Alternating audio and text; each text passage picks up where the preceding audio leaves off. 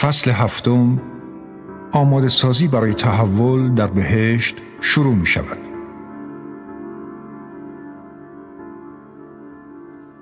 کودک برای باور کردن آنچه باور نکردنی است مشکلی ندارد.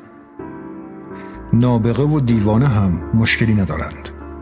تنها من و تو هستیم که با مغزهای بزرگ و دلهای کوچکمان تردید می کنیم. بیش از اندازه می اندیشیم و در شک فرو می رویم. استیون پرسفیلد.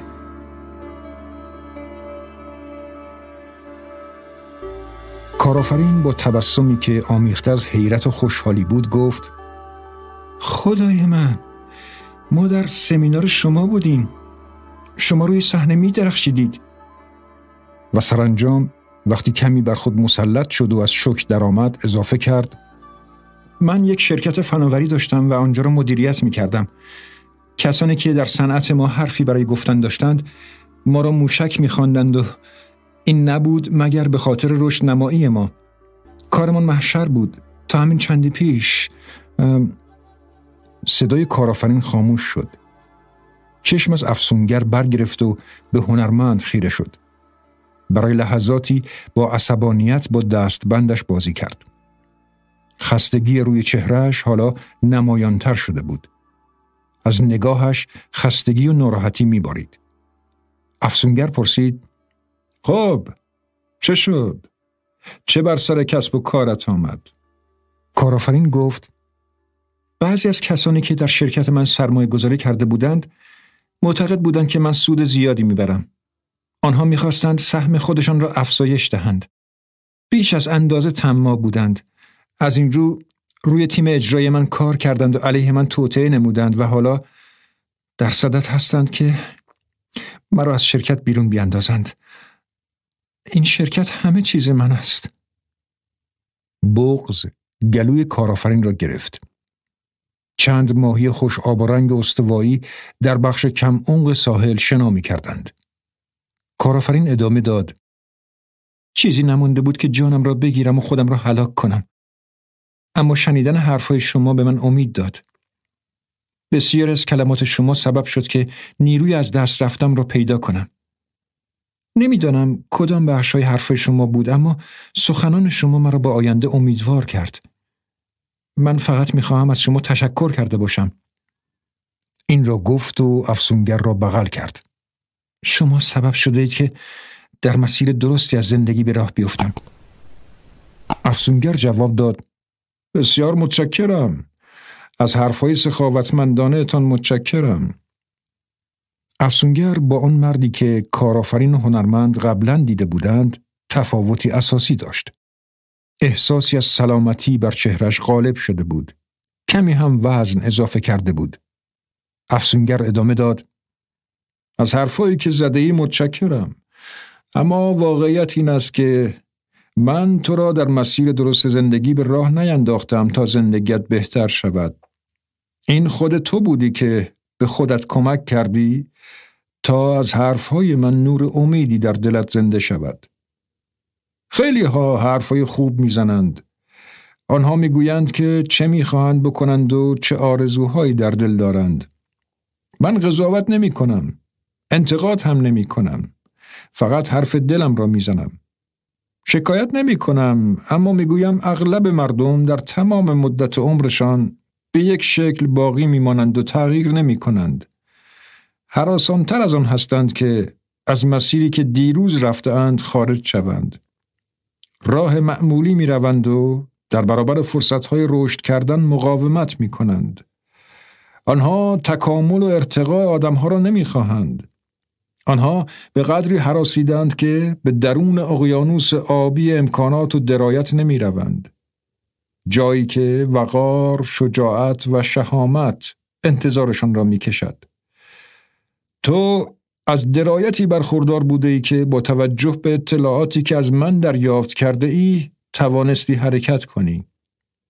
تو یکی از انگشت شماران در جمع کسانی هستی که امروز زنده که تلاش می کنند رهبر و تولید کننده بهتر و انسانی ارزشمندتر بشوند. خوش به حالت. من می‌دانم که متحول شدن ساده نیست اما یک کرم ابریشم باید جانش را از دست بدهد تا به یک پروانه زیبا تبدیل شود و بدرخشد آن خیشتن کهنه باید بمیرد تا تو بتوانی متولد شوی تو آنقدرها درایت داری که به یک زندگی عالی برسی دستاوردهای بزرگ با برداشتن یک قدم کوتاه حاصل می شود. با یک شروع ساده قدرتی بزرگ ایجاد می شود. وقتی تو الهامات و رؤیاهای خود را تحقق بخشیدی، نیروی اسرارآمیز و قهرمانان خودش را نشان می دهد. طبیعت متوجه اقدامات پرتلاش تو می شود و بعد کاری می کند که در خواسته هایت موفق شوی. قدرت اراده تو اوج می گیرد.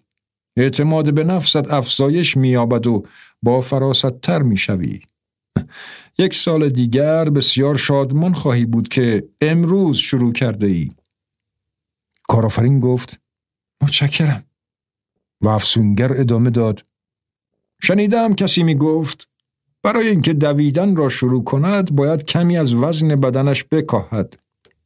خوب تصور کنید کم کردن وزن برای دویدن. این شبیه آن است که نویسندهی منتظر الهام باشد تا نوشتن کتابش را شروع کند. یا مدیری که منتظر ارتقای رتبه است تا رهبری را به دست گیرد. یا تازه کاری که برای شروع کارش ابتدا به چند سرمایه گذار احتیاج دارد تا کالایش را تولید کند. جریان زندگی به اقدامات مثبت پاداش می دهد و شک و دودلی را مجازات می کند. و هر صورت بسیار خوشحالم که توانستم به رشد تو کمک کنم. به نظر می رسد تو در یک مقطع دشوار و با این حال هیجان انگیز در سفر ماجراجویانت قرار گرفته ای. لطفا توجه داشته باش که روز بعد برای نفس روزی عالی برای وجود است. کارآفرین گفت خدا رو شکر که حالتان خوب است. شما آدم بسیار متواضعی هستید. افسونگر گفت من معتقدم انسان هرچی متواضع تر باشد بزرگتر و محترمتر است. رهبران بزرگ آنهایی هستند که مأموریت دارند انسانها را به تعالی برسانند. از حرمت نفس برخوردارند. در درونشان آرامشی حاکم است. نیازی ندارند که موفقیتهایشان را به دیگران گوش زد کنند تا احساس بهتری پیدا کنند. اجازه بدهید بگویم که تفاوت بزرگی میان قدرت حقیقی و قدرت کاذب وجود دارد. فرهنگ ما به ما القا می کند که دنبال اسم و رسم و عنوان باشیم. دنبال پول و خانه های مجلل باشیم. این چیز بدی نیست. به شرط آنکه شما را شستشوی مغزی ندهند که ارزش انسانی خود را در گرو این چیزها بدانید.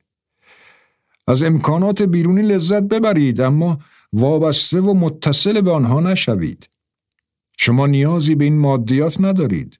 اینها موقعیت های کاذب هستند. فرهنگ ما پیوسته به ما تلقین می کند که موفق باشیم. اشکال اینجاست که اگر هر کدام از این مظاهر موفقیت را از دست بدهید قدرت جایگزینی که از آنها گرفته اید بخار می شود و به هوا می رود. در یک لحظه تمام می شود و شکل توهم پیدا می کند. کارآفرین که تک تک کلمات را جذب می کرد گفت برایمان بیشتر حرف بزنید. افسونگر ادامه داد قدرت واقعی منشأ بیرونی ندارد. بسیاری از مردم که پول فراوان دارند ثروتمند نیستند. نمونهش را در بانک ها می بینید. افسونگر این را گفت و دمپایی زرد روشنش را از پا درآورد و آنها را روی ماسه ها گذاشت. مهم نیست که در بیرون از خود چه دارید. مهم نیست که چقدر مال و ثروت دارید. بسیاری از ما راهمان را گم کرده ایم. قدرت راستین و پردوام وقتی حاصل می شود که با استعدادهایتان پیوند بخورید. باید بگویم قدرت واقعی با نظم و انضباط شخصی، با شجاعت، با صداقت، با همدلی و استحکام شخصیت رابطه دارد. باید بتوانید با توجه به ارزش های خود زندگی کنید و دنبال روی کورکورانه دیگران نباشید. شمار کثیری از مردم جوامع چنان آموزش دیدند که مانند گوسفندان رفتار می کنند. خبر عالی که من دربارش حرف می‌زنم این است که قدرت واقعی روی سیاره خاکی ما قرار دارد اما ما این را فراموش کرده ایم. ما آسیب دیده ایم. معیوس و گیج شده ایم. اما اینها همه وجود دارند و انتظار ما را می‌کشند. باید با آنها رابطه برقرار کنیم. وقتی مهاتما گاندی از دنیا رفت بیش از ده قلم شی از خود باقی نگذاشت که از میان آنها می‌توان به سندلهایش، ساعتش، عینکش و کاسه‌ای که در آن غذا می‌خورد اشاره کرد. مادر ترزا که توانست روی انبوهی از مردم تأثیر گذار باشد در یک اتاق کوچک از دنیا رفت و از خود چیزی بر جای نگذاشت. او وقتی به سفر می رفت همه چیزهایش را در یک کیسه پارچه سفید حمل می کرد. هنرمند که حالا روی ماسه ها لم داده بود پرسید چرا این قهرمانان انسانیت اموالی تا این اندازه کم دارند؟ افسونگر توضیح داد زیرا به بلوغی رسیدند که می‌دانند وقت صرف کردن در طول عمر برای به دست آوردن مال و منال در نهایت پشیزی ارزش ندارد. آنها منش و شخصیت خود را به اندازه متعالی کردند که برخلاف اغلب دیگران به این نتیجه رسیدند که پر کردن حفرهای وجودشان با جذابیت های دنیوی و تجملات زندگی آنها را به جایی نمی رساند. هرچه اشتهایشان برای اشیاء بی ارزش بیرونی کمتر شود برای کارهای والاتر مانند دست زدن به پنداره های خلاق ابراز نبوغ ذاتی و زندگی با رعایت اخلاقیات بیشتر آماده می شوند. آنها درک می کنند که الهام گرفتن و تسلط داشتن و بدون ترس و واهمه زندگی کردن رفتارهای متعالی هستند و وقتی به قدرت واقعی دست یافتند جایگزین های بیرونی در مقایسه با احساس موفقیت حاصل از این گنجینه رنگ می بازد. آه و این وزنه های سنگین تاریخ وقتی ماهیت برتر خود را کشف کردند متوجه می شوند که یکی از هدفهای زندگی سهیم شدن با دیگران و خدمت کردن به آنان است. مفید واقع شدن و کمک کردن مطرح می شوند. همانطور که قبلا در سمینار و قبل از افتادنم گفتم برای رهبری کردن باید خدمت کرد. فیلسوف نامی مولای رومی به بهترین شکلی موضوع را توصیف کرده است. او می‌گوید قطره را رها کن اقیانوس شو کارآفرین که حالا با رعایت فاصله از هنرمند روی شنها نشسته بود گفت از حرفایتان متشکرم. هنرمند در حالی که چکمه هایش را از پایش بیرون می آورد گفت از اینکه می بینم حالتان بهتر شده خوشحالم. هنرمند که حالا پاهایش را در معرض آفتاب قرار داده بود اضافه کرد راستی در آن جلسه با چه مشکلی روبرو شده بودید؟ و افسونگر گفت خستگی بیش از اندازه سفر فراوان به شهرهای مختلف بیش از حد سوار هواپیما شدن حضور در برنامه های رسانه های مختلف و سخنرانی های فراوان. من در جستجوی مأموریت هستم و اینکه به اشخاص کمک کنم تا بر رهبری کردن خود بیافزایند استعدادهایشان را فعال کنند و تبدیل به قهرمانان زندگی خود بشوند توان مرا گرفته است. بعد افسونگر عینک آفتابی شیک خود را از روی چشمانش برداشت و دو دستش را به سمت دو شاگرد دراز کرد و گفت از دیدن هر دو نفرتون خوشحال شدم. هنرمند جواب داد ما هم از دیدن شما خوشحال شده ایم. کار شما سبب شده است که من دوران سختی را با موفقیت پشت سر بگذارم. در حالی که هنرمند این حرفها را می‌زد چشمش به توریست های افتاد که در فاصله دور در قایق نشسته و شادی می کردند.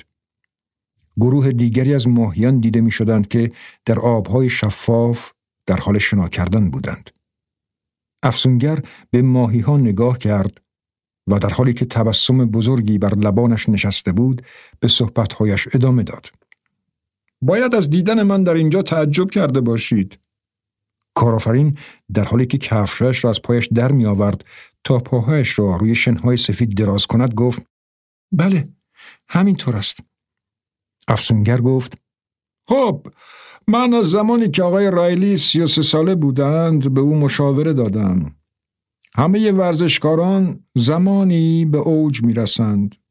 تاجران هم از این قاعده مستثنا نیستند. به تنهایی نمی توانید یک شخص برجسته شوید. وقتی شروع کردیم او آغاز کارش بود اما در همان لحظه هم می‌دانست هرچه بیشتر یاد بگیرد بیشتر به دست می آورد. آموزش همان مای کوبی در برابر شکست است. وقتی خودتان پیشرفت می کنید در همه عرصه های زندگی به نتایج بهتر می رسید. من این را ذهنیت دو x سه x می نامم. برای اینکه درآمدتان را دو برابر کنید در دو زمینه سرمایه گذاریتان را سه برابر کنید. تسلط شخصی و توانمندی حرفه‌ای. هنرمند در حالی که شکمش را میخوران گفت چالی و افسونگر ادامه داد آقای رایلی خیلی زود فهمید برای اینکه در سطح بهترین ها قرار بگیرید به حمایت درجه یک احتیاج دارید. ما طی سالهای گذشته دوستان بسیار خوب یکدیگر شده ایم. شادی های مشترک داشته ایم که به عنوان مثال می توانم به صرف نهار پنج ساعته در این ساحل خصوصی با صرف سالاد، میگوی کبابی و شراب عالی فرانسوی اشاره کنم. افسونگر دستهایش را به سوی آسمان بلند کرد. به کوههای قدرتمند نگاه و چند لحظه سکوت کرد. سپس گفت ما اندوهای عمیق را هم با یکدیگر تجربه کردیم. مثل غم دوستم که در پنجاه سالگی به سرطان مبتلا شد. به نظر می رسید او هر آنچه را یک انسان می خواهد در اختیار دارد اما وقتی سلامتیش را از دست داد فهمید که چیزی ندارد. سرطان او را تغییر داده بود. سلامتی تاج سر کسی است که تنها بیماران می توانند آن را ببینند. از قدیم گفتند وقتی جوان هستیم سلامتی خود را به خاطر کسب ثروت به مخاطره می اندازیم و چون پیر و مدبر می شویم متوجه می شویم که سلامتی از هر چیز دیگری مهمتر است و حاضر می شویم که همه ثروتمان را بدهیم و یک روز از سلامتی برخوردار باشیم. شما نمی خواهید که در گورستان ثروتمندترین آدم دنیا باشید.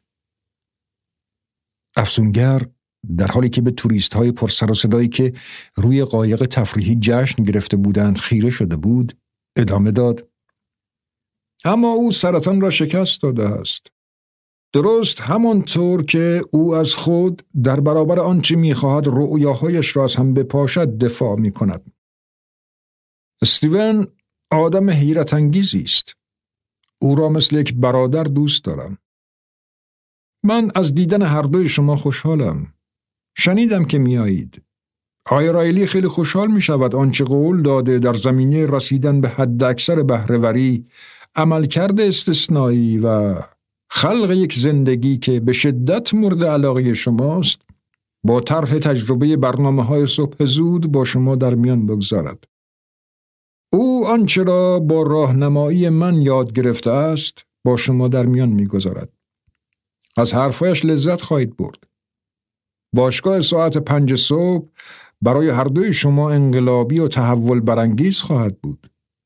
می‌دانم عجیب و باور نکردنی به نظر می رسد اما آنچه استیون به شما آموزش خواهد داد تحولی در درون شما ایجاد خواهد کرد.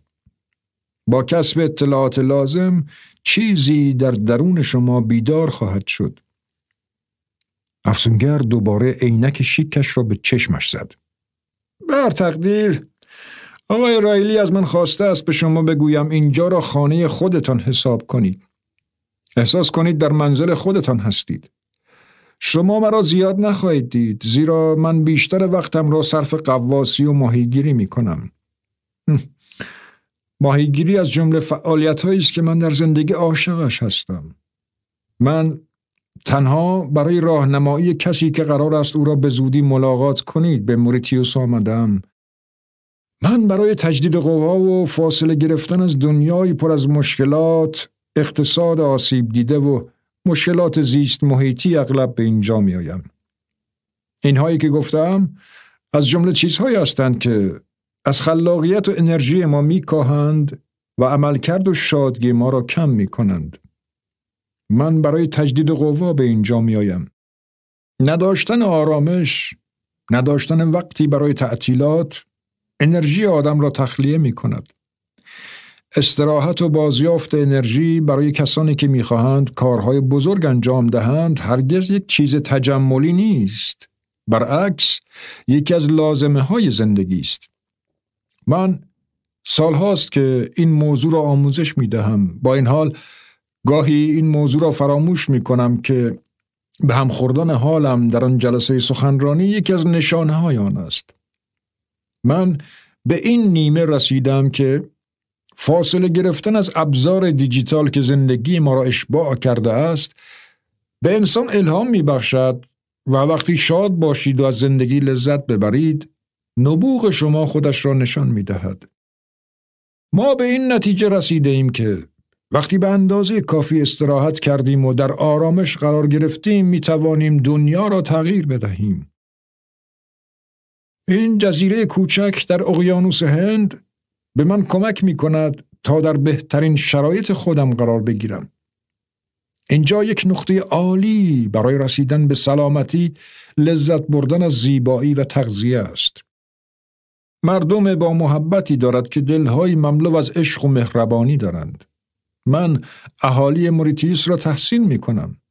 اغلب آنها هنوز از عجایب زندگی و ساده ترین لذت ها و خوشی ها بهره می گیرند.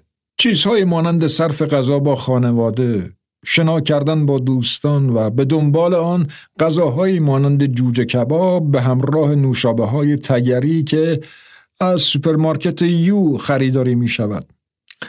باید بگویم وقتی موریتیوس را ترک می کنم احساس می کنم که نیرویم چند برابر شده است. قویتر شدم. تمرکزم هم افزایش یافته است.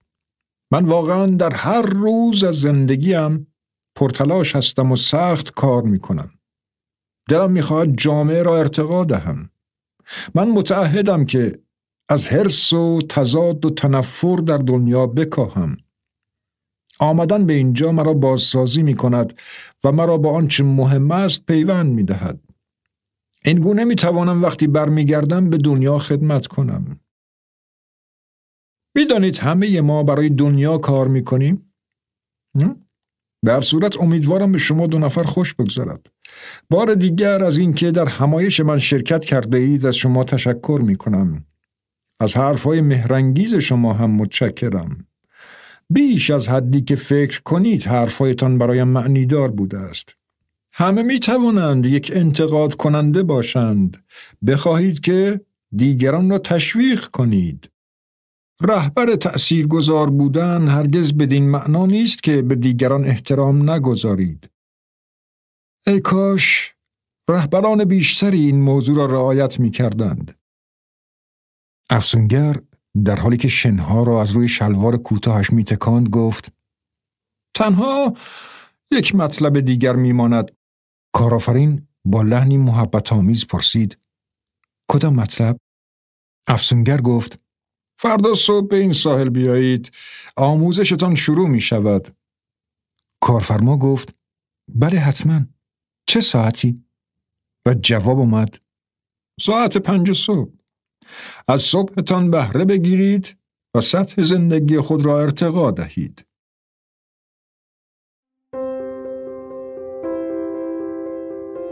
فصل هشتم روش پنج صبح. برنامه صبحگاهی سازندگان جهان. بیدار شدن قبل از روشن شدن هوا بسیار خوب است. زیرا این عادت به سلامتی، ثروت و درایت اشخاص می افزاید. ارسطو. میلیاردر در حالی که از پله های ویلای ساحلیش پایین می آمد فریاد کشید به باشگاه ساعت پنج صبح خوش آمدید. این را من خیلی دوست دارم. اسم من استیون رایلی است. این را گفت و به سمت دو مهمانش دست دراز کرد تا به آنها دست بدهد. لباسهای کهنه و مندرسش را از تنش درآورده بود و به جای آن یک شلوارک مشکی خوشدوخت و یک پیراهن سفید پوشیده بود. هیچ نظریه‌ای تا به کار گرفته نشود اثرگذار نیست. کفشی به پا نداشت و بسیار تمیز و مرتب صورتش را تراشیده بود. به نظر می رسید از آمادگی جسمانی به شدت مطلوبی برخوردار است. پوست برونزش او را در مقایسه با آنطور که در همایش ظاهر شده بود جوانتر نشان می‌داد. یک کلاه بیسبال مشکی که آن را برعکس گذاشته بود بر سر داشت. چشمان سبز رنگش بیش از اندازه روشن بودند و تبسمش به شکل حیرت انگیزی تابناک بود. همانطور که کارآفرین استنباط کرده بود، بله، این مرد چیز به خصوصی داشت. کبوتر سفیدی بالای سر تایکون میلیاردر پرواز می کرد. ده ثانیه طول کشید و بعد دور شد. آیا می توانید این را تصور کنید؟ در حد یک معجزه بود. میلیاردر گفت بگذارید شما دو نفر را در آغوش بگیرم. و بعد دستهایش را یک جا به دور کارآفرین و هنرمند حلقه کرد بیان که انتظار داشته باشد آنها هم همین کار را بکنند. بعد گفت خدایا شما دو نفر خیلی شهامت دارید. شما به یک پیرمرد غریبه اعتماد کردید. می‌دانم که پریروز شکل و شمایل یک ولگرد را داشتم. البته اینطور نیست که به لباس و سر وضعم بی توجه هم اما اونقدرها به وضع ظاهرم بها نمی دهم. این را گفت و تبسمی بر لبانش نشست. ادامه داد من دوست دارم همه چیز حقیقی باشد. زیبا و ساده. کاملا اصیل. مرا به یاد آن گفته خردمندانه گذشته ها می اندازد که می گفت داشتن پول زیاد از شما آدم متفاوتی نمی سازد بلکه بیشتر به شخصیتی شبیه می شوید که قبل از پولدار شدن بوده اید. میلیاردر به اقیانوس نگاه کرد و گذاشت تا اشعه صبحگاهی روی تنش پخش شود تا او را شستشو دهد. بعد چشمانش را بست و نفس عمیقی کشید. عضلات ناحیه شکمش از پشت پیراهنش دیده می شدند. بعد از جیب پشتی شلوارکش گلی بیرون آورد. کارآفرین هنرمند قبلا چنین گلی ندیده بودند. گل از اینکه در جیب میلیاردر بوده باشد آسیبی ندیده بود. عجیب به نظر می رسید. گلها برای هر کس که بخواهد معجزه‌ای در زندگی خصوصیش ایفا کند نقش مهمی بازی می کنند. میلیاردر این را گفت و گلبرگ های گل را بویید. راستی خواستم بگویم که پدرم یک کشاورز بوده است. من در مزاره بزرگ شدم و بعد به کالیفرنیای جنوبی آمده ایم. ما ساده فکر می کردیم، ساده حرف می زدیم، غذاهای ساده می خوردیم و ساده زندگی می کردیم. شما می توانید پسری را از مزرعه بیرون بکشید اما نمی توانید مزرعه را از پسر بیرون ببرید. کارفرما و هنرمند از میلیاردر صمیمانه تشکر کردند. آنها توضیح دادند که سفرشان تا به دینجا عالی بوده است. آنها گفتند هر روز که زیبایی جزیره و ساحلش را می‌بینند متوجه می‌شوند که این زیبایی از روز قبل بیشتر شده است. میلیاردر در حالی که عینکش را به چشم می‌زد گفت مدینه فاضله من خدا را شکر می کنم که این همه نعمت به من ارزانی داشته است. از اینکه شما اینجا هستید خیلی خوشحالم. در حالی که آنها روی شنهای ساحل راه می رفتند، هنرمند پرسید با این اصاف آیا پدرتان بود که عادت صبح زود از خواب بیدار شدن را در شما ایجاد کرده است؟ خرچنگی در ساحل به سرعت راه می رفت و پروانه ها بالای سرشان در پرواز بودند. در کمال حیرت میلیاردر چونان درویشی شروع به چرخ زدن به دور خودش کرد و در این حال فریاد کشید اگر صبح زود از خواب بیدار نشوید به جایی نخواهید رسید. کارآفرین پرسید چه کار دارید می‌کنید؟ این گفته از ویلیام پیت است. به دلیلی فکر کردم شاید بد نباشد آن را اینجا برایتان نقل کنم. اما اجازه بدهید به سوالی که درباره پدرم از من پرسیدید جواب بدم. هم بله و هم نه. در کودکی شاهدان بودم که او صبح زود از خواب بیدار می شود. او به قدر این کار را تکرار کرد که عادتش شد و دیگر نتوانست آن را کنار بگذارد. اما من هم مانند اغلب بچه ها در برابر خواسته های والدینم مقاومت می کردم. نوعی سرکشی در من وجود داشت. پدرم به دلایلی نامعلوم اجازه داد تا هر کاری را که دوست دارم انجام بدهم. او فکر کرد این از جنگ و دعوای صبحگاهی بهتر است. از این رو تا دیر وقت می خوابیدم. کارآفرین که در این صبح لباس یوگا پوشیده بود و موبایلش را برای یادداشت برداری با خودش آورده بود گفت چه پدر خوبی. میلیاردر سخن کارآفرین را تایید کرد. بله بله. درست است. و بعد در حالی که روی ماسه ها راه می رفتند دستش را روی شانه های شاگردانش انداخت. آقای رایلی ادامه داد در واقع این افسونگر بود که روش ساعت پنج صبح را به من آموخت. وقتی او را برای اولین بار دیدم جوان بود. به تازگی اولین شرکتم را راه اندازی کرده بودم.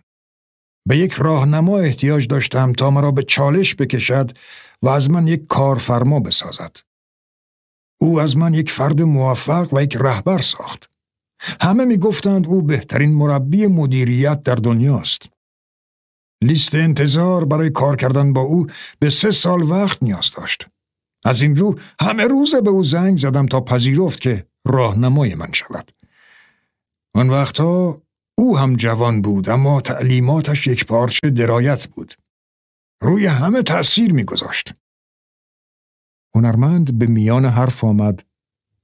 آیا نظم بیدار شدن صبح زود از خواب موثر واقع شد؟ میلیاردر تبسمی کرد و ایستاد. این اقدامی بود که کمک کرد و موجب تغییر شد. روی همه کارهای دیگر اثر گذاشت. پژوهشگران حالا این را عادت کلیدی می نامند. عادت کلیدی همه رفتارهای شما را تحت تأثیر قرار می دهد. البته باید کمی تلاش کنید، کمی رنج ببرید. من با شما صادق خواهم بود. برای رسیدن به این عادت کلیدی گاه با مشکلاتی هم روبرو شدم. گاه به شدت عصبی می شدم. گاه می خواستم از رخت خوابم بیرون نیایم. اما از وقتی عادت کردم ساعت پنج صبح بیدار شوم روزگارم تغییر کرده است. زیاد هم تغییر کرده است. زود بیدار شدن بهتر از هر چیزی بود که قبلا تجربه کرده بودم. هر دو مستمع با صدای بلند پرسیدند چگونه؟ کارآفرین یکی از انگشتانش را روی بازوی هنرمند گذاشت. انگار می‌خواست بگوید که در این تجربه با هم سهیم و حالا یک تیم هستند. هنرمند چشمانش را به کارآفرین دوخت و روی او متمرکز شد. تبسم آرامی بر چهرش نشست. میلیاردر ادامه داد در این دوران رشد تصاعدی در این عصر پرت کننده ی حواس بیدار شدن در ساعت پنج صبح که افسونگر به من آموزش داده مرا از متوسط مردم جدا کرده است. دیگر عجله و شتابی در صبح نداشتم. تصورش را بکنید که این عادت چه تأثیری بر زندگی شما بر جای می‌گذارد. وقتی صبح زود از خواب بیدار می شوید، احساس قدرت و تمرکز می کنید. من احساس کردم هر روز که میگذرد ذهنم متمرکزتر می شود. هر اجرا کننده مهم خواه او یک قهرمان ورزشی باشد یا یک مدیر برجسته یک معمار باشد یا یک نوازنده ویولونسل مدتها از قدرت تمرکزشان استفاده کردند تا به سطوح بالا رسیدند. این مهم به آنها امکان داده است که نتایجی با کیفیت سطح بالا بگیرند. هنرمند گفت قطعا با شما موافقم. در این روزها دیدن کسی که ساعتهای طولانی روی کارش متمرکز شود کم است. افسونگر وقتی در جلسه سخنرانی کسانی را که پیوسته با موبایل هایشون بازی می‌کنند تقبیه کرد آنها را همه روزه می‌بینیم. به نظر می رسد که آنها دیگر انسان نیستند. بیشتر به ربات تبدیل شدند. آدم آهانی هایی که به موبایلشان چسبیدند. آنها در زندگیشان حضور ندارند. میلیاردر گفت بله متوجه حرفتان هستم. حراست از خود در برابر پرت کننده های حواس کاری است که باید بکنید و این البته در صورتی است که بخواهید در زندگیتان موفق شوید. دانشمندان علم عصب شناسی به این حالت اوج ذهنی توجه کردند. این ادراکی است که بر رفعت ما می افزاید. در ساعت پنج صبح از خواب بیدار شوید تا از همه این مواهب برخوردار شوید. من وقتی عادت کردم ساعت پنج صبح از خواب بیدار شوم بر میزان انرژی خود افزودم. قطعا آن را دو برابر کردم. بهرهوری من مطمئنا سه برابر شده است. کارآفرین صحبت را قطع کرد و گفت جدی می‌گویید؟ بله صد درصد. من در تمام مدت کاریم آدم صادقی بودم. چیزی به اندازه وجدان پاک باعث نمی شود که شبها بتوانید به راحتی بخوابید. این بخشی از زندگی کردن سالهای اول عمرم در مزاره است. ناگهان تلفن کارآفرین نشان داد که برای او پیام مهمی رسیده است. خیلی میبخشید. من به همکارانم گفتم که در این چند روز با من تماس نگیرند. نمی‌توانم تصورش را بکنم که چرا حالا باید مزاحم شوند. کارآفرین این حرف را زد و به صفحه موبایلش نگاه کرد. کلماتی درشت روی صفحه موبایلش ظاهر شد. شرکت را ترک کن. در غیر این صورت میمیری. کارآفرین کمی با تلفنش بازی کرد و لحظه بعد ناگهان روی شنها افتاد. تنگی نفس پیدا کرده بود و به زحمت هوا را به درون ریه های خود می‌کشید. چه اتفاقی افتاده است؟ هنرمند این را با عجله پرسید و احساس کرد که مشکلی پیش آمده است. حالا با دیدن خونی که به صورت دوستش هجوم آورده بود و دستهایش که لرزش داشتند، هنرمند دوباره سوالش را تکرار کرد. چه شده است؟ چه اتفاقی افتاده است؟ میلیاردر هم که به نظر می رسید نگران شده است گفت حالت خوب است؟ می‌خوای کمی آب بخوری؟ کارآفرین بهت زده گفت همین چند لحظه قبل سرمایه گذارانم مرا تهدید به مرگ کردند. آنها بونگاه مرا می‌خواهند. می‌خواهند مرا از شرکت بیرون بیاندازند. زیرا فکر می‌کنند من بیش از اندازه سهم دارم. آنها به من اطلاع دادند که اگر شرکت را ترک نکنم مرا خواهند کشت.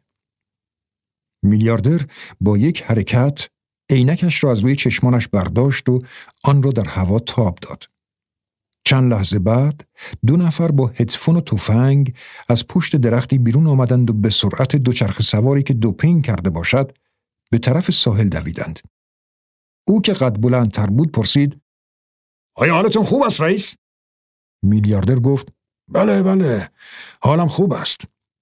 میلیاردر به کارآفرین نگاه کرد و گفت می توانم کمکت کنم تا از گرفتاری خلاص شوی؟ میلیاردر زیر لب حرفهایی زد و در این حال چند کبوتر بالای سرشان پرواز کردند. کارآفرین جواب داد بله حتما. میلیاردر با تیم حفاظتیش صحبت کرد. بررسی کنید موضوع از چه قرار است. چند نفر بی سر و پا می‌خواهند شرکتش را از دستش خارج کنند. بعد وقتی از کم و کیف مسئله آگاه شدید نتیجه را با من در میان بگذارید. بعد رو به کارآفرین گفت نگران نباشید. افراد من در کارشان بهترینند. این مسئله مهمی نیست. آقای رایلی این جمله آخر را با تلفظی محکم تکرار کرد. روی هر کلمه تأکید میگذاشت تا تأثیرش بیشتر شود. کارآفرین جواب داد خیلی متشکرم. او حالا تا حدود زیادی احساس آرامش می کرد. هنرمند دست کارآفرین را با مهربانی گرفت. میلیاردر گفت بسیار خوب. ادامه می دهیم. خورشید در آسمان بالاتر آمده بود. مهمانانش به علامت تایید سرشان را تکان دادند. خدمتکاری از کلبه‌ای که بالاتر از سطح ساحل قرار داشت بیرون آمد. لباس مرتب و منظمی پوشیده بود. لحظه بعد خدمتکار با یکی از بهترین قهوه ها از مهمانان پذیرایی می کرد. کارآفرین و هنرمند در تمام مدت عمرشان قهوه‌ای به این خوبی نخورده بودند. میلیاردر گفت اگر به اعتدال بخورید وسیله عالی است که شما را از خواب بیدار کند. قهوه سرشار از آنتی اکسیدان است و پیر شدن را هم کند می کند. به صورت کجای مطلب بودم؟ ها داشتم از تأثیرات مطلوبی که از پیوستن به باشگاه پنج صبحی ها نصیب من شده بود حرف می زدم. این مطالب را افسونگر با من در میان گذاشته است. به این فرمول بیست بیست بیست می‌گویند. حرف منو باور کنید. حتی اگر تنها این مطلب را یاد بگیرید و بعد آن را به طور پیوسته در همه جا به نمایش بگذارید بهرهوری موفقیت عمل کرد و تأثیر گذاریش به شکل تصاعد نهایی خودش را نشان می دهد. من عاملی را نمی شناسم که تا این اندازه به موفقیت من کمک کرده باشد. من همیشه لافزنی و گذاف گویی را یک نقص بزرگ منشی شخصیتی ارزیابی کردم. شخص هرچه بزرگتر باشد کمتر به مبالغ گویی احتیاج دارد. یک رهبر هم هر اندازه قوی تر باشد کمتر آن را به نمایش می‌گذارد. کارآفرین که حالا کمی آرامتر به نظر می رسید گفت افسونگر صحبت کرد که تا چه اندازه دستاورد داشته اید و هنرمند در حالی که تبسمی بر لبانش نقش بسته بود و چند دندان شکسته او را نمایان می کرد در ادامه صحبت کارآفرین اضافه کرد و طرز لباس پوشیدنتان در آن جلسه سخنرانی گویای همه چیز بود بیدار شدن در ساعت پنج صبح باعث و بانی اغلب این اتفاقات بوده است به من امکان داد تا به یک اندیشمند پندارعی مبدل شوم به من امکان داد تا دنیای درونم را رشد بدهم نظم و انضباط شخصی به من کمک کرد تا به آمادگی جسمانی فوق‌العاده‌ای برسم. من صاحب درآمد فراوان شدم. به سلامتی رسیدم. صبح زود از خواب بیدار شدن به من کمک کرده تا یک رهبر حیرت انگیز شوم. سبب شده است که من به آدم بهتری تبدیل شوم. حتی وقتی سرطان پروستات به سراغم آمد تا مرا نابود کند این صبح زود از خواب بیدار شدن ها بود که مرا نجات داد. این که می‌گویم حقیقت دارد. در جلسه بحث بعدی درباره فرمول 20 20 20 با شما صحبت می کنم. این فرمول به شما کمک می کند تا بدانید پس از بیدار شدن در ساعت پنج صبح بلا فاصله چه باید بکنید.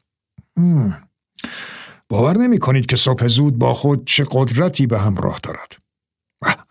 من به خاطر شما دو نفر به هیجان آمدم. به بهشت خوش آمدید. به روز نخست رسیدن به زندگی بهتر هم خوش آمدید. کارآفرین آن شب در موریتیوس زودتر از هر زمانی در گذشته ها خوابید. به رغم تهدیدی که دریافت کرده بود، ترکیب خلاصی آموزش های میلیاردر در ارزیابی طبیعت، پاکی هوای اقیانوس و علاقه آشنایی بیشتر با هنرمند سبب شد که او بسیار از نگرانیهایش را رها کند و به آرامشی که مدتها بود از آن بی بهره بود برسد. سپس دقیقا ساعت سه و سی و سه دقیقه صبح صدای ضربه محکمی بر در اتاق شنید. به این دلیل این زمان را دقیقا تشخیص داد چون میزبان او روی میز چوبی اتاقش یک ساعت گذاشته بود. کارفرما فرض را بر این گذاشت که هنرمند است که آمده سری بزند.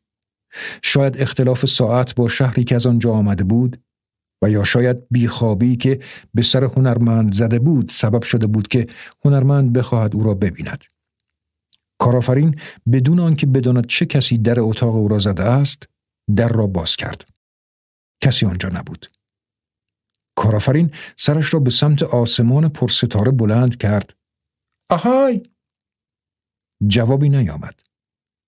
صدای برخورد آرام امواج دریا با ساحل را میشنید. عطر گل روز و روغن صندلی در وزش باد با هم آمیخته بود. کسی آنجاست؟ سکوت. کارآفرین به دقت در را بست و این بار قفل پشت در را هم انداخت. هنوز به تخت خوابش نرسیده بود که سه ضربه دیگر به در خورد. کارآفرین حالا هوشیارتر شده بود. بله، بله. صدای دورگه گفت قهوه را که سفارش داده بودید برایتان آوردم. چهره کارآفرین در هم کشیده شد. قلبش به تپش افتاد. احساس کرد که عضلات شکمش گرفته است. در این وقت صبح برایم قهوه آوردند. باور کردنی نیست. دوباره به سمت در رفت و قفل آن را باز کرد و در را گشود. مردی چهارشانه با سری تاس همراه با تبسمی آنجا ایستاده بود. یک لباس بادگیر و شلوارکی که تا زیر زانویش می رسید برتن داشت. نخی باریک و آبی رنگ به دور گردنش بسته بود و زیر آن عکس یک شخص آویزان بود. کارآفرین چشمانش را تنگ کرد تا در تاریکی عکس را بهتر ببیند. چهره مرد سال خورده ای بود. مردی که خوب آن را می شناخت. مردی که او را خیلی دوست داشت. مردی که دلش برای او خیلی تنگ شده بود. عکس پدر از دست رفتش بود. کارآفرین حراسان فریاد کشید. شما چه کسی هستید؟ این عکس را از کجا آورده اید؟ آن را شرکای تجاریت به من دادند. ما درباره همه چیز شما اطلاع داریم. همه چیز. همه اطلاعات شخصی مربوط به شما را در اختیار داریم. همه پرونده های شما را جستجو کرده ایم. حالا مرد بادگیر پوشیده از زیر کمربندش چاقوی بیرون کشید و آن را روی شکم کارآفرین گذاشت. حالا کسی نمی‌تواند به فریاد تو برسد. یک تیم کامل داریم که تو را زیر نظر گرفتند. در حال حاضر قصد آسیب رساندن به تو را ندارم. این بار خواستم تنها تذکری داده باشم. برایت پیامی دارم. از شرکتت برا بیرون. از سهامت دست بکش. با خداحافظی کن. در غیر این صورت این کار را در گردنت فرو می کنم آنم وقتی که انتظارش را نداری وقتی احساس می‌کنی در امنیت قرار داری. شاید هم وقتی در کنار دوست نقاشت هستی. این را گفت و با صدای محکم در را به هم کوبید و رفت. کارآفرین که به شدت تکان خورده بود به روی زانوهایش افتاد. خدایا خواهش می‌کنم. خواهش می‌کنم به من کمک کن. من نمی‌خواهم بمیرم. دوباره سه ضربه به در خورد. این بار آرامتر از گذشته بود. من هستم لطفا در را باز کن کارآفرین با شنیدن صدای در از خواب پرید. صدای ضربه ها ادامه یافت. چشمانش را باز کرد. فهمید که خواب بدی دیده است. از روی تختش بلند شد. از روی چوب های بلوط روی کف اتاق گذشت و در جلوی ساختمان را باز کرد. بعد از شنیدن صدا تردید نداشت که او همان هنرمند است. کارآفرین گفت کابوس وحشتناکی دیدم یک مرد تبهکار به اینجا آمده بود به گردنش نخی بسته بود و عکس پدرم از آن آویزان بود یک چاقو را به طرف من گرفت گفت اگر شرکتم را به شرکایم واگذار نکنم مرا خواهد کشت هنرمند با صدای ملایمی پرسید آیا حالت خوب است؟ خوب می شوم. هنرمند توضیح داد من هم خواب غیر متعارفی می دیدم. بعد از آن دیگر خوابم نبرد. به فکر چیزهای مختلفی افتادم از جمله کیفیت نقاشی هایم عمق نظام باوریم احمقانه بودن عذر بهانه هایم نگرش بدبینانم پرخاشگر و تهاجمی بودنم و خودویرانگری که دارم وقت گذرانی هایم که تمام شدنی هستند برنامه های روزانم را تجزیه و تحلیل می کنم. به این فکر می کنم که بقیه عمرم را چگونه خواهم گذراند. تو مطمئنی که حالت خوب است؟ به ذهن هنرمند رسید که بیش از اندازه درباره خودش حرف زده و تأکیدی بر گفته های هم صحبتش نداشته است. حالم خوب است. به خصوص حالا که اینجا آمده ای. مطمئنی؟ بله. دلم برای تنگ شده بود. می توانم درباره خوابم بیشتر حرف بزنم؟ کارآفرین در تشویق هنرمند گفت بگو. هرچی میخوایی بگو. بچه کوچکی بودم که به مدرسه می‌رفتم. همه روز وانمود می‌کردم که دو نفرم. یک قول و یک دزد دریایی. همه روزه فکر می کردم که قدرت یک قول را دارم و رفتارهای ضد قانونی یک دزد دریایی را. به معلمانم گفته بودم که دو شخصیت دارم. در خانه من هم این موضوع را با پدر و مادرم در میان گذاشته بودم. معلمانم به من خندیدند و شماتت هم کردند. گفتند که واقع بینتر باشم. مثل بچه های دیگر باشم و دست از این رؤیا پردازی های مسخره بردارم. کارآفرین که حالا مثل کسانی که یوگا می کنند چهار زانو روی کاناپه نشسته بود پرسید پدر و مادرت چه می گفتند؟ آیا آنها مهربانتر بودند؟ همان حرفهایی را می زدند که معلمانم می زدند. آنها به من گفتند که یک قول نیستم و قطعا دزد دریایی هم نیستم. به من گفتند اگر می‌خواهم تنبیه نشوم باید دست از تخیلات بیهوده بکشم. خب بعد چه اتفاقی افتاد؟ کاری را که می‌گفتند انجام دادم. نگرش بزرگترها را در پیش گرفتم. سعی کردم پسر خوبی باشم. امیدها و استعدادهایم را خفه کردم. به جای اینکه خودم را بزرگتر ببینم، کوچکتر دیدم. به خیالاتم پایان دادم. سعی کردم هم رنگ جماعت شوم. اگر این کارها را نمی کردم تنبیه می شدم. به راستی که ما چقدر از استعدادهایمان فاصله می گیریم. شستشوی مغزی می شویم. افسونگر و میلیاردر درست می گویند. بیشتر از خوابت بگو. سعی کردم خودم را با شرایط وفق دهم. تبدیل به یک دنبال رو شده بودم. دیگر فکر نمی کردم که قدرت یک قول را دارم.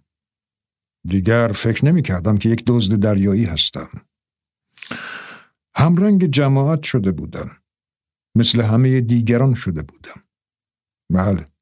سرانجام بزرگتر شدم.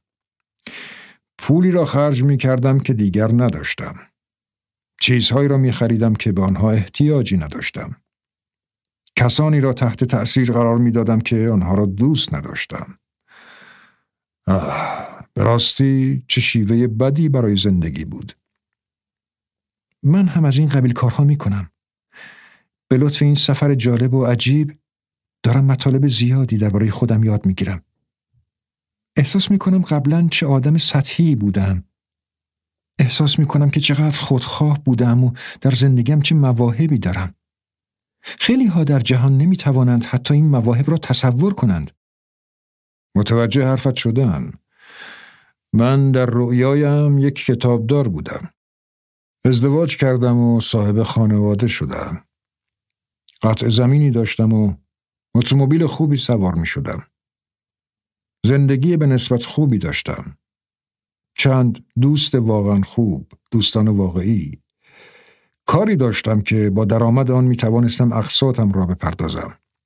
حقوق خوبی می گرفتم اما همه روزهایم یک نواخت بود.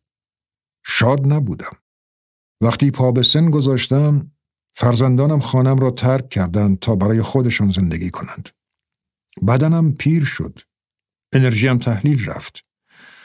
متاسفانه همسر رویاهایم از دنیا رفت. با گذشت عمر دیدم که ضعیف شدم. گوشایم سنگین شده است. حافظم را تا حدود زیادی از دست دادم. خصه خوردم. احساس اندوهی به من دست داده است. دیگر نمی‌دانستم در کجا زندگی می کنم. اسم خودم را فراموش کرده بودم. حسهایم را از دست دادم. اما کمی بعدتر همه چیز رو به راه شد. به یاد آوردم که واقعا چه کسی هستم. یک دزد دریایی. درست است؟ بله. دقیقا.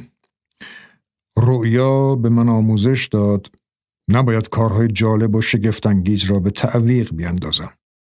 نمی‌توانم به سلامت، شادی، اعتماد به نفس و حتی به زندگی عاشقانم بی باشم. و کارآفرین با حالتی آرزومندانه پرسید واقعا؟ و هنرمند جواب داد بله واقعا در این هنگام هنرمند قدمی به جلو برداشت و پیشانی کارآفرین را بوسید.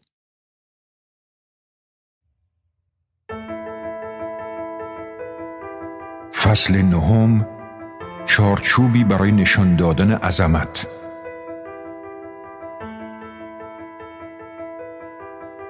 مردان بزرگ با آنچه ذاتی است زندگی می کنند با آنچه سطحی است نمی مانند به واقعیت ها توجه دارند و با آنچه نمایشی است باقی نمی مانند. یکی را رها می کنند و دیگری را نگه می دارند. لا تزو. میلیاردر فریاد زد. سلام رفقا. طبق معمول درست سر وقت آمده اید. چالی است ساعت پنج صبح بود و با آنکه هنوز اثری از ماه در آسمان دیده می‌شد نشانه های سپیددم جدید به سه انسانی که روی ساحل بینقص ایستاده بودند صبح خیر می گفت. نسیم اطراگین اقیانوس با رایحه گلهای ختمی و میخک در هم آمیخته بود. یک شاهین از نوع کمیابترین شاهین های روی زمین بر فراز سرشان پرواز می کرد و کبوتری صورتی آن هم از نادرترین کبوتران سیاره خاکی روی درختان نخل در پرواز بود. چند مارمولک به سرعت رد شدند و لاک پشتی عظیم کمی دورتر از ساحل روی علفها دیده می‌شد. این جلوه های طبیعت بر شادی سه عضو باشگاه پنج صبح که روی ماسه ها ایستاده بودند می افسود. میلیاردر به یک بطری شناور روی آب اشاره کرد و با انگشت به تقلید از بطری شناور در آب دست تکان داد. انگار بطری شناور هر طور که او حرکت می کرد در حرکت بود. لحظاتی بعد بطری به سمت شنهای خیس ساحل کشیده شد. تصورش را بکنید که این صحنه ها تا چند اندازه جالب به نظر می رسیدند. میلیاردر حالا مانند کودکی شادمان شروع به دست زدن کرد. بطری را از روی ماسه ها برداشت و در آن را باز کرد. پیامی روی یک پارچه در بطری وجود داشت. خب موضوع درس امروز ما هم مشخص شد. بعد پارچه را بیرون کشید. تصویری روی پارچه رسم شده بود. میلیاردر توضیح داد این یکی از ساده ترین و پرمعناترین الگوهای یادگیری است که وقتی جوان بودم افسونگر با من در میان گذاشته است. این محتوای همه مطالبی است که امروز می‌خواهم به شما آموزش بدم. از این رو از شما می‌خواهم با تمام وجود به آن دقت کنید. در نگاه اول به نظر می رسد که الگوی بسیار ابتدایی است اما وقتی به تدریج بیشتر با آن آشنا شوید متوجه می شوید که چقدر مطلب عمیقی است. بعد آقای رایلی چشمانش را بست و دستهایش را روی گوشهایش گذاشت و این کلمات را به زبان آورد. شروع تحول افزایش ادراک است. وقتی بیشتر ببینید، بیشتر درک می کنید و اگر بهتر و بیشتر بدانید، می توانید دستاوردهای بزرگتری پیدا کنید.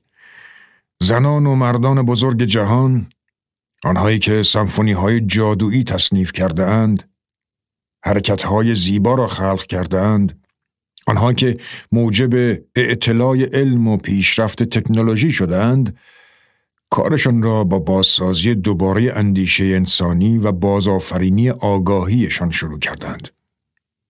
این گونه به جهان اعجاب آوری وارد شدند که اکثریت مردم چیزی از آن سردم نمی آورند. آنها به دنیای وارد شدند که تنها معدودی از انسانها آن را درک می کردند. این گونه آنها به طور خودکار نتایج روزانه را به دست دادند که تنها تعداد کمی آنها را تجربه می کنند. میلیاردر حالا چشمش را باز کرد. انگشت سبابش را روی لبهایش قرار داد. انگار به مطلب جدیدی برخورده بود. به پارچه و نقش روی آن نظر انداخت و ادامه داد. قهرمانان، ثروتمندان و چهرهای مشهور از ویژگی های مشخصی برخوردارند که اشخاص متوسط از آن بی اطلاعند. هنرمند پرسید این ویژگی کدام است؟ او حالا یک پیراهن رکابی و یک مایه شنای اسپیدو پوشیده بود. میلیاردر جواب داد موش کافی بهترین های دنیا از عمق برخوردارند. اکثریت اغلب در کارشان گرفتار سطحی نگری می شوند. آدم های سطحی و سبکی هستند. خودشان را واقعا برای کاری که انجام می دهند آماده نمی کنند. کمتر تعمق می کنند و در این شرایط نمی توانند پنداره بزرگی برای نتایج مطلوب داشته باشند و نتیجه آن می شود که به جایی که می خواهند نرسند. 95 درصد مردم به جزئیات توجه نمی کنند و برخلاف آنهایی که فکر و تعمق می کنند به جایی نمی رسند. واقعیتی است که اکثریت مردم راه کم مقاومت را انتخاب می کنند. می خواهند هرچه زودتر به نتیجه برسند. به جای آنکه چیزی را حضوری تحویل بدهند آن را پست می کنند اما آن اقلیت موفق خلاق در شرایط کاملا متفاوتی عمل می کنند. هنرمند گفت به من بگویید. آنها به جای سطحی نگری به جزئیات کارها توجه می کنند. برای آنها توجه به عمق یکی از ارزشهای همیشگی زندگی است. آنها در هر کاری که می کنند به عظمت می اندیشند. استثنایی ها کاملا درک می کنند که بازده خلاق آنها چه در نقش یک بنا یا قناد، مدیر ارشد یا یک زاره، فضانورد یا صندوقدار مبین اشتهار آنهاست. بهترین ها در هر کاری می دانند که حیثیت آنها به کار و کیفیتی که رعایت می کنند بستگی دارد. آنها می دانند که نمی توان برچسب قیمتی روی کسانی که از آنها تعریف می کنند قرار داد. میلیاردر دستی به بطری کشید و بعد بطری را بلند کرد و از پشت شیشه آن به ماه که آخرین نشانه هایش در آسمان ناپدید می‌شد نگاه کرد. بعد ادامه داد. اما موضوع عمیقتر از این هاست. کاری که شما در دنیا می کنید نشانه احترامی است که برای خودتان قائل هستید. کسانی که از حرمت نفس برخوردارند هرگز جرأت نمی کنند کار متوسطی از خود بروز دهند. زیرا از اعتبارشان بیش از اندازه می کاهد. اگر می خواهید در کارتان عالی باشید به اعماق توجه کنید. متعهد شوید که انسانی در حد عالی و استثنایی شده اید. مثل اغلب مردم رفتار نکنید. زندگی بیمایه نداشته باشید. زندگی عالی داشته باشید. اصالت به خرج دهید. هنرمند در حالی که پیراهن رکابیش را از تنش در می آورد تا کمی آفتاب روی بدنش بیفتد گفت عالی بود. استادان در اندیشمندانی عالی هستند. آنها درباره کاری که می کنند به شدت دقیق می شوند. در کارشان بالاترین استانداردها را رعایت می کنند. کاری که استاد مجسم سازی جیان لورنزو برنینی در خلق فواره چهار رود شاهکاری که در حال حاضر در مرکز پیازا ناونای روم قرار دارد انجام دادند. این خالقان کارشان را بدون نقص انجام می دهند. آنها به کارشان بیش از اندازه بها می دهند. کارآفرین به میان صحبت آمد اما مردم در حال حاضر سرشان به شدت شلوغ است. ما در سالهای 1500 زندگی نمی کنیم. برنامه من پر است از کارهایی که باید انجام بدهم. اغلب روزها چند جلسه پشت سر هم دارم. فکر نمی کنم هرگز بتوانم همه کارهایی را که باید بکنم انجام دهم. کار بزرگان را انجام دادن هرگز ساده نیست. میلیاردر با لحنی مهربان جواب داد بله درکتان می کنم. تو تلاش بیش از اندازه می کنی. آنها که نابغه هستند می دانند که یک کار عالی کردن بهتر از هزاران کار کم اهمیت کردن است. یکی از دلایل من به خلق کارهای هنری بزرگ این است که می‌خواهم از بزرگان هنر بهره بگیرم. می‌خواهم کار آنها روی من تأثیر بگذارد. با اطمینان غریب به یقین می‌گویم که این اساتید من در شرایطی متفاوت از توده های جمعیت روزگارها زندگی می‌کردند. درست در همین لحظه یک پروانه رنگ روی گوش چپ استیون رایلی نشست. آقای رایلی لبخندی زد و گفت سلام دوست کوچک من از دیدن دوبارت خوشحالم و در ادامه مطلبش گفت وقتی به این فکر می کنید که چگونه سوپرستارها نوابق و آدمهای شریف و اصیل به موقعیت ممتازشان رسیدند می‌بینید موفقیتشان ناشی از آگاهی آنها از فرصتهای مناسب برای رسیدن به عظمت روزانه بوده که به آنها الهام بخشیده که همه روزه انتخابهایی بکنند که برایشان نتایج بهتری به ارمغان آورد. آقای رایلی به الگوی یادگیری اشاره کرد و در ادامه صحبتش گفت این قدرت خودآموزی است. وقتی با ایده ها و نظرات جدید آشنا می شوید، به لحاظ یک تولید کننده و یک انسان رشد می کنید. وقتی توانمندی های حرفه‌ای و فردی خود را رشد می دهید، سطح اجرا در شما بالا می رود. میل به بلند پروازی بیشتر در شما افزایش می یابد و البته وقتی توانمندی تحقق بخشیدن به رؤیاهایتان بیشتر می شود، صاحب درآمد و تأثیرگذاری بیشتری می شوید. میلیاردر در حالی که به نمودار روی پارچه اشاره می کرد گفت به همین دلیل است که وقتی قبول کردید با من در این دوره آموزشی شرکت کنید حرکت هوشمندانه انجام دادید و این همان مطلبی است که این نمودار می‌خواهد به شما آموزش دهد میلیاردر شکم لاغرش را خاراند و نفس عمیقی کشید تا هوای اقیانوس به داخل ریه هایش برود. و اجازه بدهید بگویم به این دلیل که اشخاص برجسته دنیا را تماشا کردند و از آن در کارشان مدد گرفتند و به این دلیل که آنها در مقایسه با مردم عادی و متوسط به شکل دیگری ظاهر شدند به آنها انواع صفات منفی را نسبت دادند آنها را دیوانه و عجیب و غریب خواندند در حالی که این گونه نبودند آنها صرفاً چون در حال و هوای دیگری به سر می بردند در سطحی بالاتر عمل می کردند. آنها کارشان را با تمام نیرو و توانی که داشتند انجام دادند. آنها هفته ها، ماها و گاه سالها وقت صرف کردند تا کاری عالی عرضه کنند. وقتی گرفتار حراس و ملالت شدند و احساس تنهایی کردند، کارشان را رها نکردند. وقتی مسخره می شدند، استمرار نشان می دادند. وقتی به آنها حمله می شد، از خود صبر و شکیبایی نشان می‌دادند. به راستی که آنها تحسین برانگیز بودند و هستند. هنرمند گفت هرچه جامعه از حقیقت دورتر می شود از کسانی که صحبت از این واقعیات می کنند بیشتر بدشان می آید. این گفته جورج اورول است. و هرچه شما در اطرافتان زیبایی بیشتری خلق کنید روح خودتان را بیشتر جلا می دهید. این هم گفته آلیس واکر است.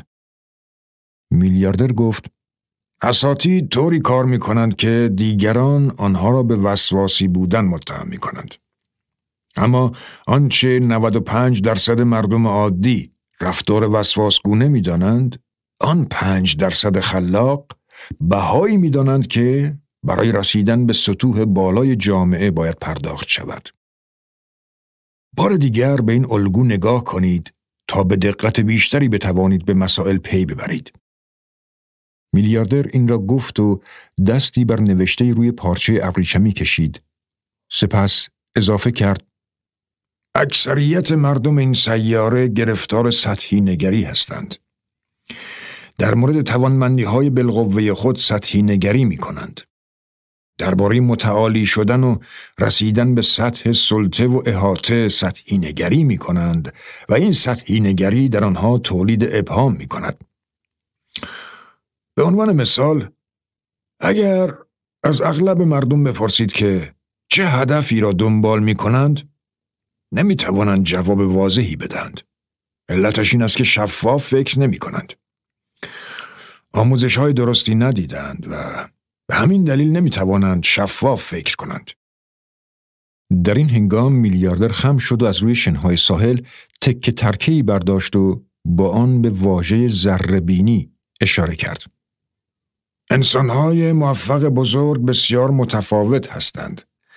آنها می دانند که سطوح آگاهی آماتورها هرگز منجر به نتایج بزرگ نمی شود. و این یکی از نمونه هایی است که می توانم برای شما تعریف کنم. من یکی از علاقمندان بزرگ مسابقات اتومبیل رانی فرمول یک هستم. اخیرا از من دعوت کردند که با تیم مورد علاقم در پیست مسابقات سرگرم شوم. توجه آنها به جزئیات امر و علاقهشان به عملکرد عالی به شدت الهام بخش بود.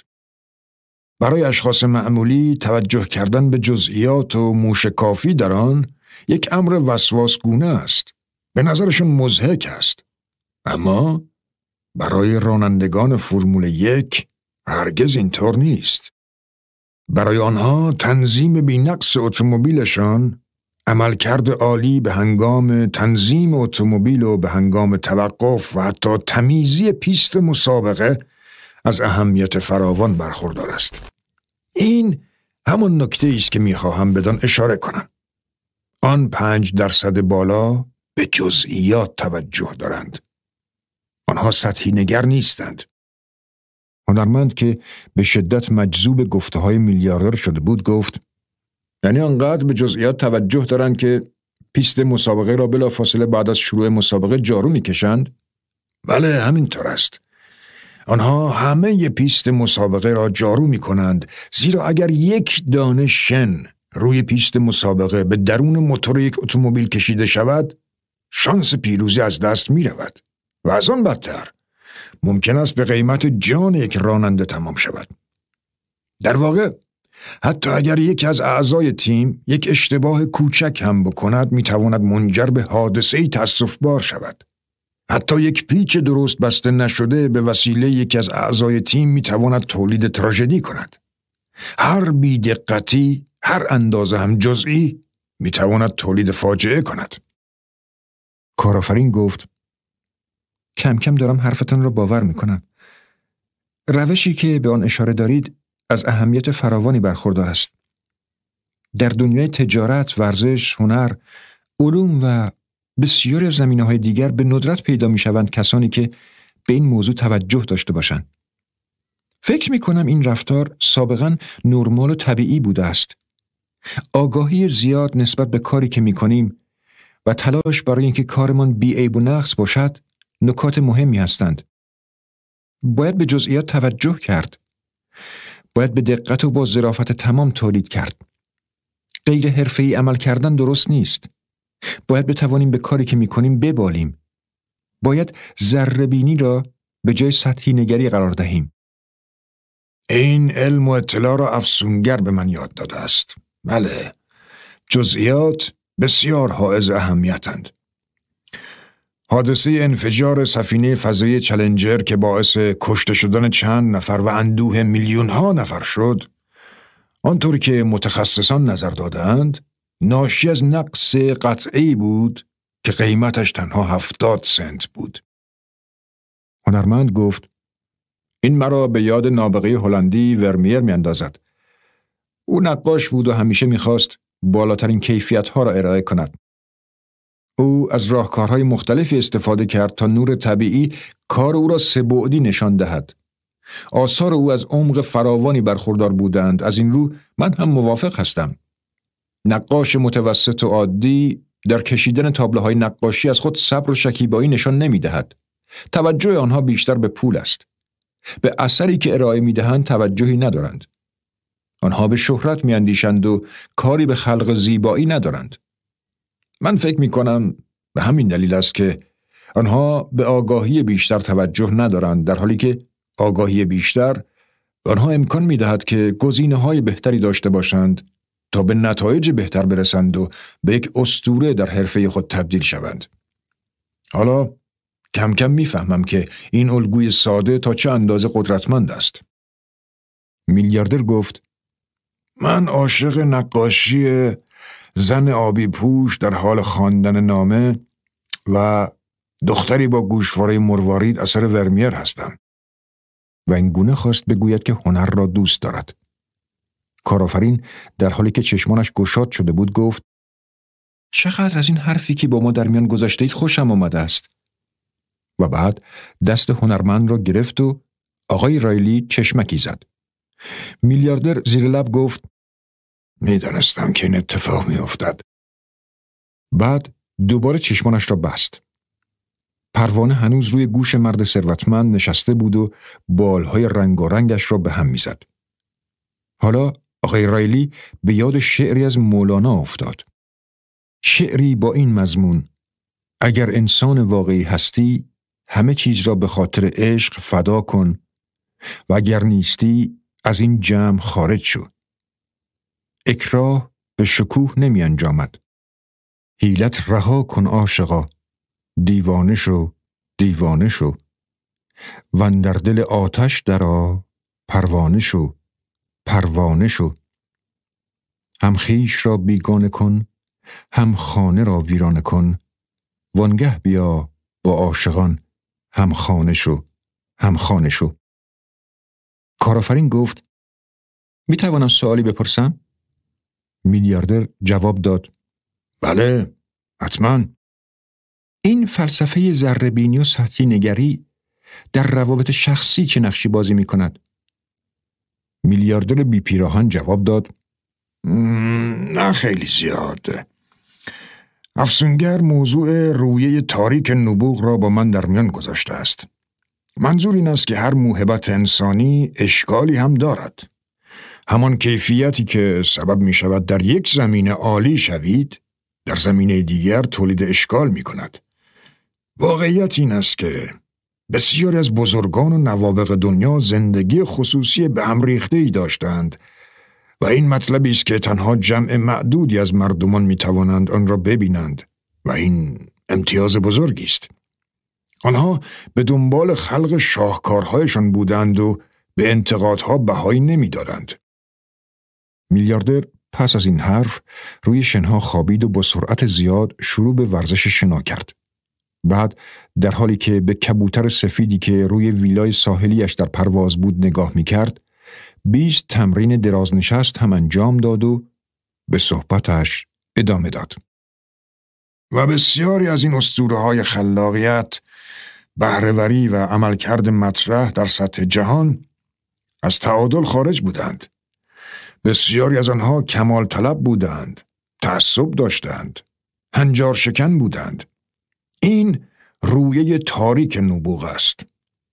بسیاری از چیزهایی که به شما در کارتان کمک می کند تا به سطح عالی برسید می تواند زندگی خانوادگی شما را خراب کند. بعد در حالی که از بطری آبی که در دست داشت جرعه نوشید گفت اگر خوب به این بطری نگاه کنید روی آن نوشته شده است فیلیپ مقدونیه به مردم اسپارت پیام داد به شما پیشنهاد می کنم بدون تأخیر تسلیم شوید زیرا اگر لشکریانم را به سرزمین شما بیاورم مزارعتان را ویران می کنم مردمانتان را می کشم و شهرتان را ویران می سازم. و جواب اسپارتی ها این بود اگر اما صرفا به این دلیل که مواهب شما روی تاریک دارند بدین معنا نیست که نباید آنها را ابراز کنید. حالا میلیاردر با انرژی بیشتری صحبت می کرد. تنها لازم است بدانید که در کجا و در چه زمینه هایی این رویه های تاریک زندگی خصوصی شما را خراب می کنند و بعد آنها را مدیریت کنید.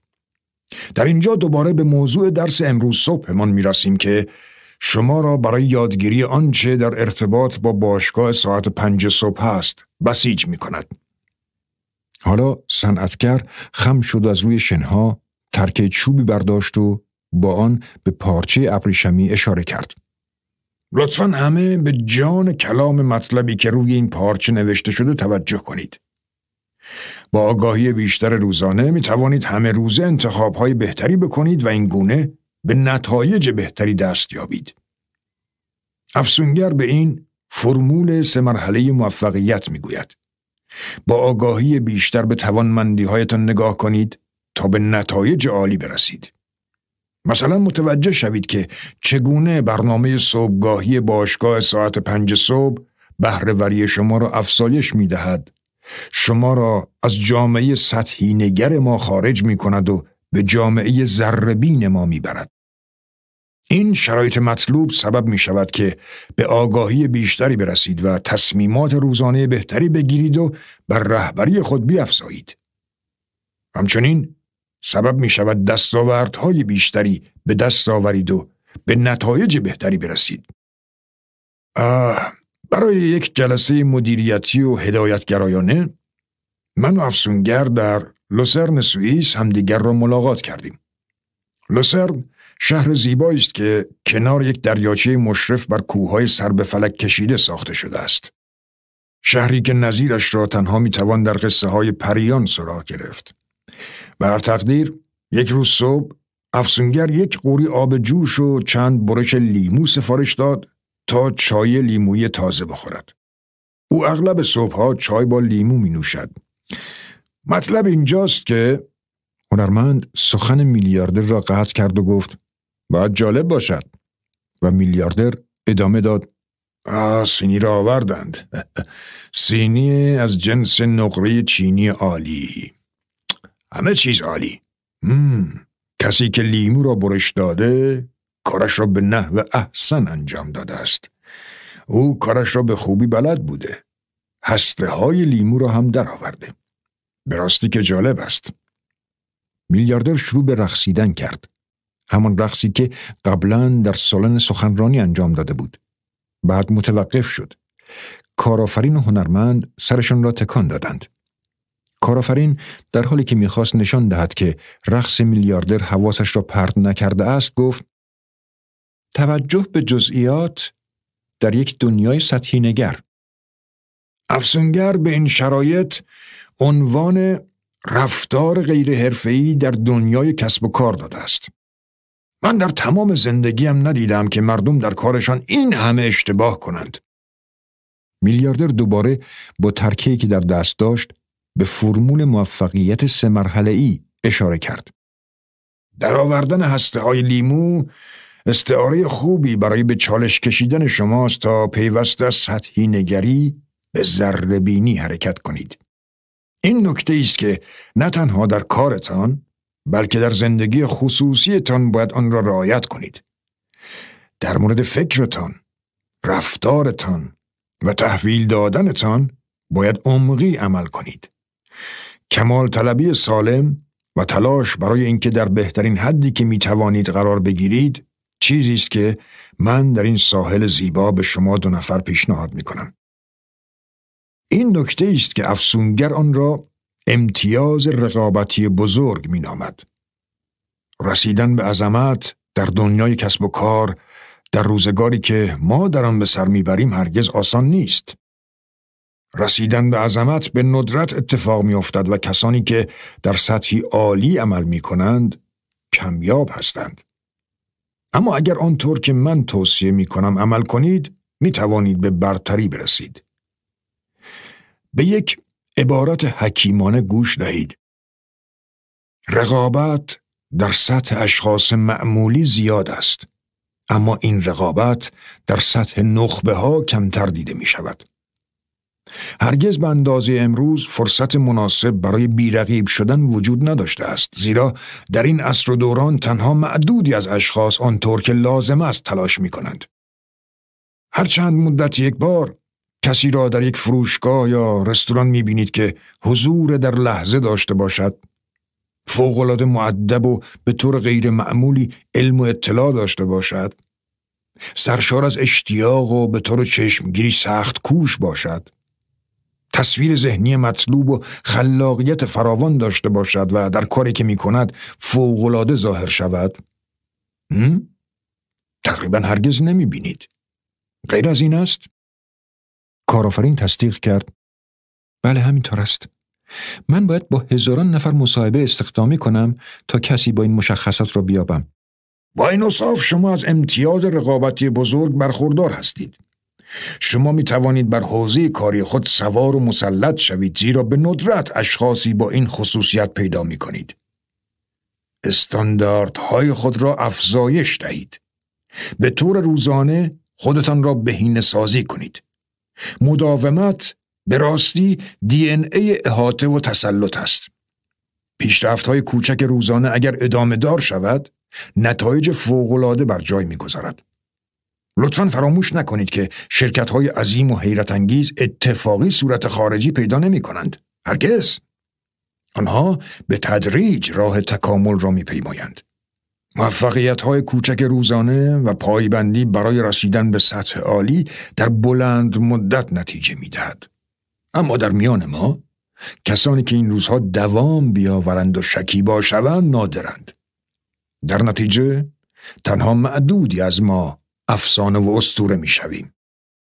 هنرمند در حالی که پیراهنش را دوباره می پوشید گفت حرفای شما ارزنده و برای کار من عالی است. ببینید من می‌دانم که شما دو نفر در مدت کوتاهی مطالب بسیار زیادی آموخته اید. من می‌دانم که صبح زود از خواب بیدار شدن مهارت جدیدی است که کم کم بر آن مسلط می‌شوید. می‌دانم این همه مطلب که درباره رفتن و رسیدن به عظمت، فاصله گرفتن از اشخاص عادی برای رسیدن به بزرگی که شنیده اید ممکن است شما را کلافه کند. از این رو صرفا نفسهای عمیق بکشید و در حالت آرمیدگی قرار بگیرید. خواهش می‌کنم. استثنایی شدن یک سفر است. موفق شدن یک سفر است. روم را یک شبه نساختند. غیر از این است؟ هنرمند در تایید این حرف گفت بله همینطور است و کارآفرین اضافه کرد قطعا حرف درستی می‌زنید و البته باید بگویم که تلاش برای رسیدن به موقعیت های سطح بالا دشوار و خسته کننده است. من این دوران را پشت سر گذاشتم. اما بدانید برخوردار شدن از مواهب ساعت پنج صبح از هر مقدار پول و شهرت و امتیازات دنیوی مهمتر است.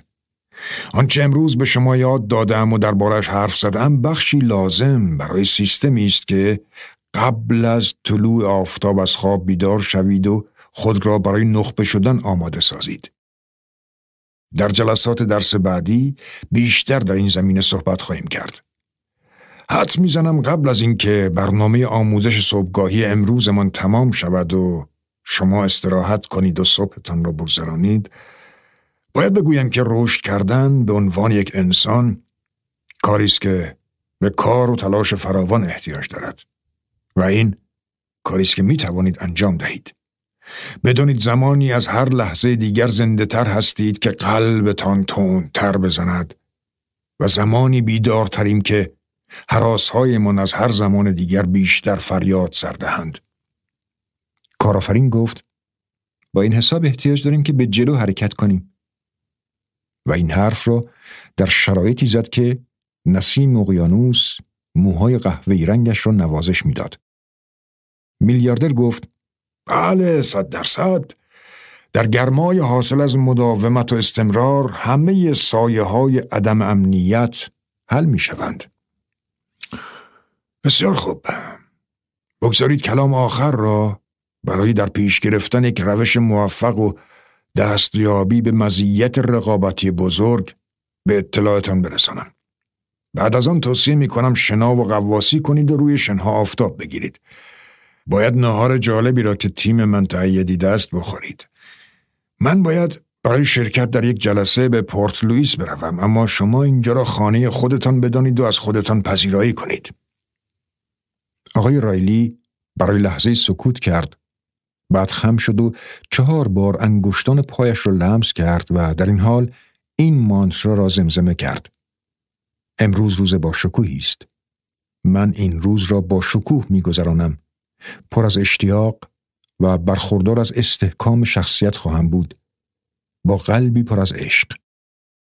سپس ادامه داد بیاد دارم مقاله می که از مدیرعامل مونکلر شرکت مد ایتالیایی سوال شد که غذای مورد علاقش چیست و او جواب داد اسپاگتی پومودورو و بعد اضافه کرد در حالی که تهیه این غذا به شدت کار ساده است و صرفا از پاستا، گوجه فرنگی تازه، روغن زیتون و ریحان تهیه می شود باید دانست که از هر یک از این مواد به چه اندازه باید استفاده شود.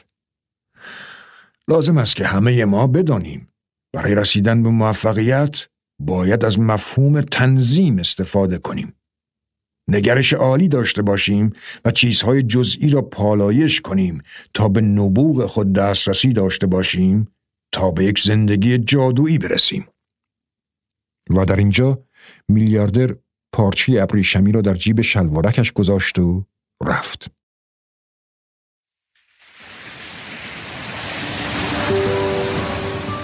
فصل دهم چهار تمرکز تاریخ سازان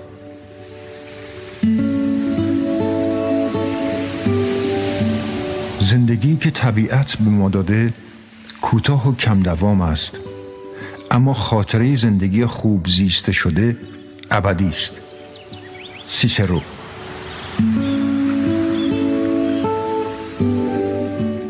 کارآفرین و هنرمند دست در دست یکدیگر کنار ساحل قدم زنان به محل قرار با میلیاردر می رفتند. خورشید صبحگاهی نوری خیره کننده را به نمایش می گذاشت. آقای رایلی در حالی که با چشمان بسته روی ماسه ها نشسته و در شرایط مراقبه عمیق بود قبل از آنها آمده بود تا جلسه بعدی را برگزار کند. پیراهانی بر تن نداشت. شلوارکی شبیه به شلوارک دیروز افسونگر پوشیده بود و چکمه های قواسی لاستیکی که روی آنها تصاویر خندانی نقش بسته بودند به پا داشت. در همان لحظه که میلیاردر دستهایش را با علامت پیروزی به سمت آسمان بلند کرد، یکی از دستیاران به سرعت از خانه بیرون آمد. از یک کیف چرمی سیاه براق سه ورق کاغذ بیرون کشید و بیان که حرفی بزند آنها را به دست قول صنعت استیون رایلی داد. او نیز سرش را به نشانه تشکر به پایین خم کرد و به هر یک از شاگردانش یک برگه داد. ساعت دقیقا پنج صبح بود. میلیاردر یک گوش ماهی برداشت و آن را به سمت دریا پرت کرد. به نظر می رسید مطالب مهمی دارد که می خواهد دربارش حرف بزند. رفتارش تغییر کرده بود. اثری از شادی و بازیگوشی در میان نبود. کارآفرین در حالی که دستبندی که روی آن نوشته شده بود برخیز و تلاش کن وقتی می‌خواهم که مرد باشم به دستش بسته بود از میلیاردر پرسید حالتان خوب است؟ میلیاردر نوشته روی دستبند را خواند و انگشتی بر لبهای خود گذاشت. وقتی بمیری چه کسی گریه می کند؟ هنرمند متعجب پرسید چه گفتید؟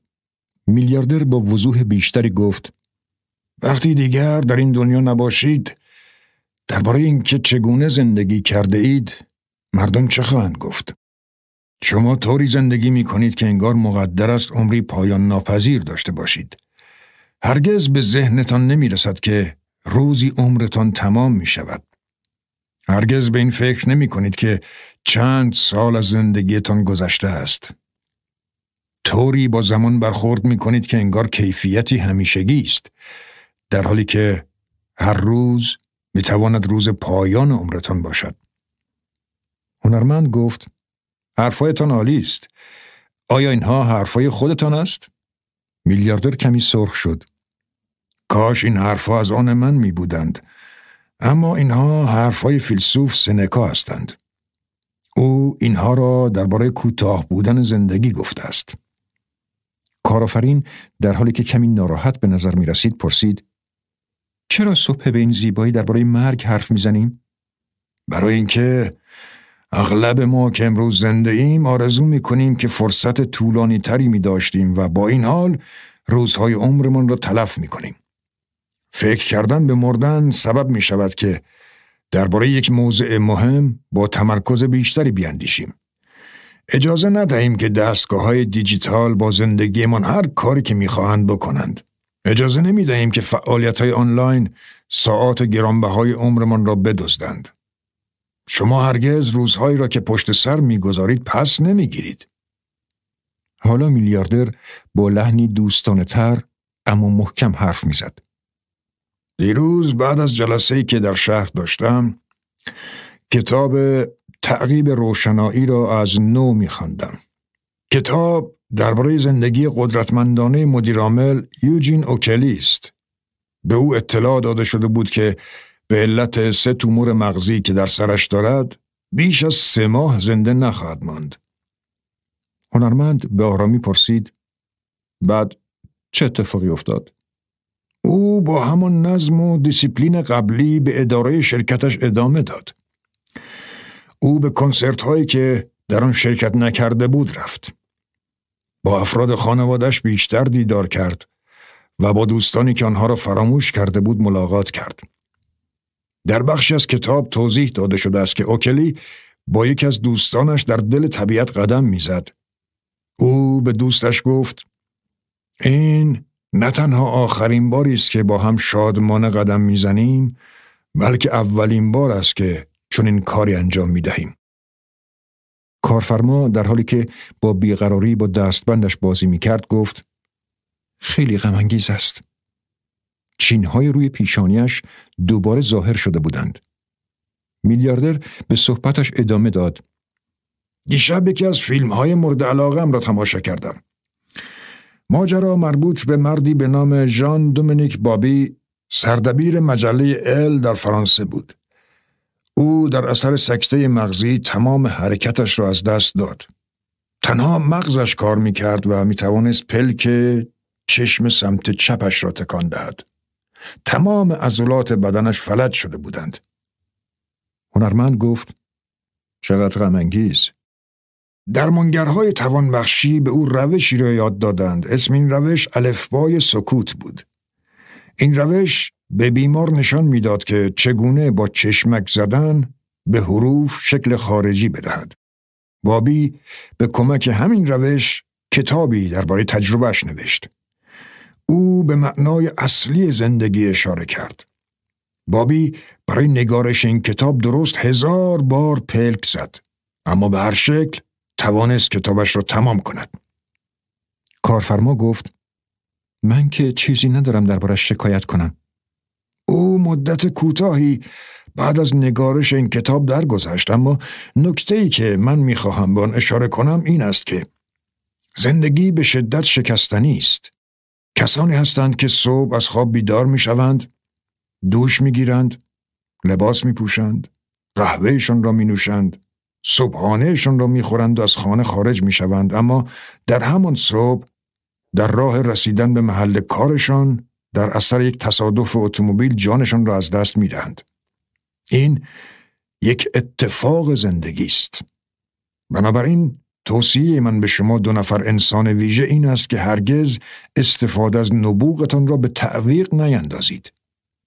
به شکلی که برای شما معنی داره است زندگی کنید. به معجزات کوچک بها بدهید. هنرمند گفت متوجه حرفتان هستم. بعد دستی به کلاه پاناماییش کشید که برای جلسه صبح آن روز انتخاب کرده بود. کارآفرین گفت بله من هم همینطور. هنرمند اضافه کرد از هر ساندویچی که می‌خوری لذت ببر. آقای رایلی گفت حرف خردمندانه است. هنرمند بلا فاصله گفت این حرف من نیست. حرف وارن زبون ترانه سراست. او زمان این حرف را زد که فهمید گرفتار بیماری مهلکی شده است. از هر لحظه زندگیت سپاسگزار باش. بلند پرواز باش. نترس.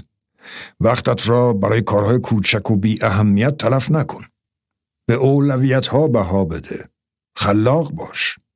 به توانمندی های بالقوهی که در شما پنهان است بها بدهید. فکر می کنید چرا افلاتون گفته است خودت را می شناسی؟ او فهمیده بود که ما از توانمندی های بسیار زیادی برخورداریم که باید به آنها دست پیدا کرده و از آنها در زندگیمان استفاده کنیم. حالا به برگه که امروز صبح به شما دادم نگاه کنید. چهار تمرکز تاریخ سازان شماره یک بهره هوشی تأمین سرمایه میلیاردر درباره تأمین سرمایه آنطور که روانشناس برجسته جیمز فلین شرح داده بود توضیح داد. او گفت مهم نیست کسی با چه استعداد طبیعی به دنیا می آید بلکه مهم این است که شخص تا چه اندازه این استعداد را تحقق می بخشد و به آن واقعیت می دهد. آقای رایلی گفت بسیاری از برترین قهرمانان ورزشی جهان از مهارت ذاتی کمتری نسبت به رقبای خود برخوردار بودند اما پایبندی به تعهدات و تلاش برای به حد اکثر رساندن قدرت هایی که داشتند سبب شد که آنها یک استوره بزرگ شوند. افسونگر به من آموخت که با پیوستن به باشگاه ساعت پنج صبح همه روزه فرصت مناسبی برای بهره برداری از دارایی هایی که در اختیار دارم فراهم می شود. او به من کمک کرده تا بدانم و درک کنم که انسانهای موفق از صبح خود به خوبی استفاده می کنند.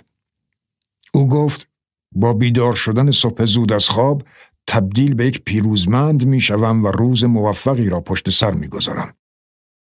کارفرما به میان صحبت آقای رایلی پرید و گفت به نظر می رسد که من هرگز فرصتی برای پرداختن به خودم نداشتم.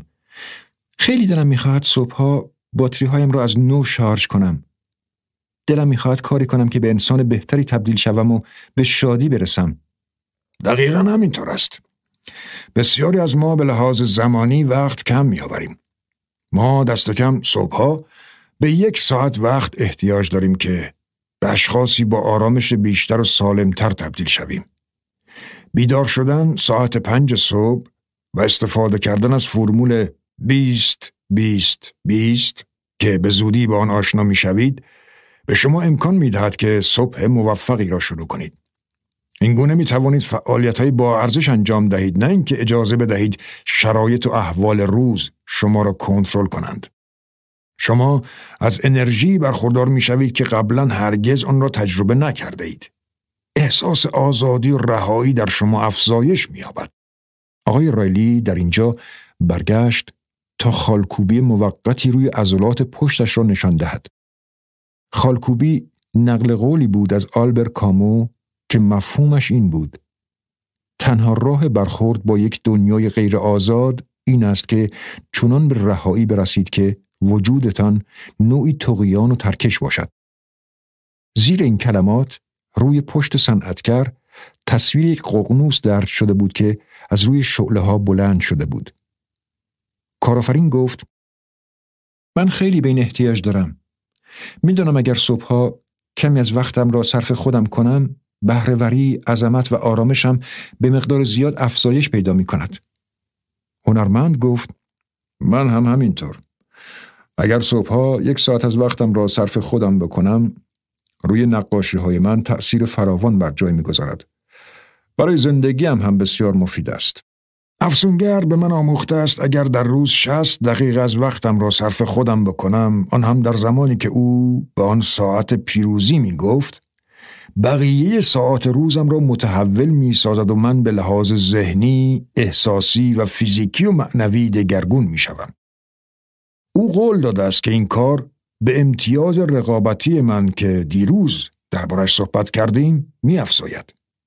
برایم یک امپراتوری مالی و خلاقیت به وجود می آورد تا بیشتر بتوانم به بشریت خدمت کنم و باید بگویم که صد درصد حق با او بوده است. به هر تقدیر بیایید به مفهوم تأمین سرمایه و اینکه چگونه از استعدادهای اولیه خود به نحو احسن استفاده کنیم بازگردیم. شمار کثیری از ما هیپنوتیزم جمعی شده ایم که فکر می کنیم کسانی که مهارت‌های فوق‌العاده دارند از جنس دیگری هستند و خداوند استعدادهای استثنایی آنها را به گونه دیگری خلق کرده است. اما خیلی ساده بگویم که اینطور نیست. نظم و انضباط مهمتر از استعداد هستند. کسانی که به موفقیت رسیدند لزوما شانس نداشتند.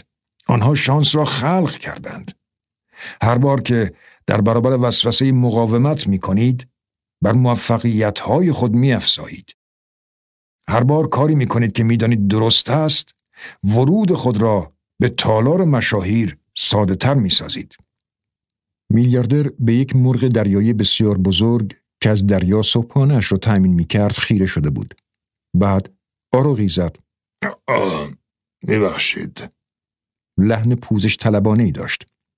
همانطور که قبلا گفتم بسیاری از پژوهش های انجام شده روی اشخاص موفق نشان می دهند بهره برداری ما از توانمندی های و باوری که به این توانمندی داریم نشان می دهند تا چه اندازه از این توانمندی های بالقوه استفاده می کنیم. کارآفرین یادداشت برداری خود را متوقف کرد و در حالی که در چشمان میلیاردر نگاه می کرد پرسید منظورتان چیست؟ روی پیراهن تنگ و چسبنده میلیاردر نوشته شده بود قربانی ها تلویزیون های بزرگ و رهبران کتابخانه های عظیم دارند.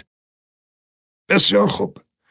اگر شما با خودتان بگویید آنچه را لازمه عالی شدن است در اختیار ندارید یا از تخصص بی اید هرگز به جایی که می‌خواهید نمی‌رسید. رسیدن به کلاس جهانی یک حادثه نیست که فرایند است. اگر این حرفها را باور کنید که همه روز اشخاص نمی توانند به عظمت برسند یا اینکه نبوغ موضوعی مادرزادی است و اکتسابی نیست وقتتان را تلف می کنید و نمی توانید به امیال و خواسته های خود برسید. اگر این گونه باشید چه فایده که وقت گرانبهای خود را صرف کارهایی بکنید که در نهایت بیفایده است؟ این یک باور اشتباه است. بدانید که رفتارهای روزانه شما همیشه تابع عمیق ترین باورهای شماست. باید بدانید اگر بر این باور باشید که هرگز نمی توانید به موفقیت برسید در نهایت هم از این مهم محروم خواهید شد. انسانها به گونه خلق شدند که همیشه با مراعات و همخوان با شناختهای خود عمل کنند. شما هرگز از سطح باورهای خود بالاتر نمی روید و این نکته مهمی است که همیشه باید به خاطر داشته باشید. بعد به دریا نگاه کرد. یک قایق ماهیگیری کوچک با یک تور که به انتهای آن بسته شده بود در حال گذر بود. یک ماهیگیر با پیراهن قرمز سیگار می‌کشید و سعی می کرد که قایقش را از میان های مرجانی خطرناک عبور دهد. میلیاردر مانترای دیگری را زیر لب زمزمه کرد. من سپاسگزارم. بخشندم. بخشایندم. زندگی زیبایی دارم.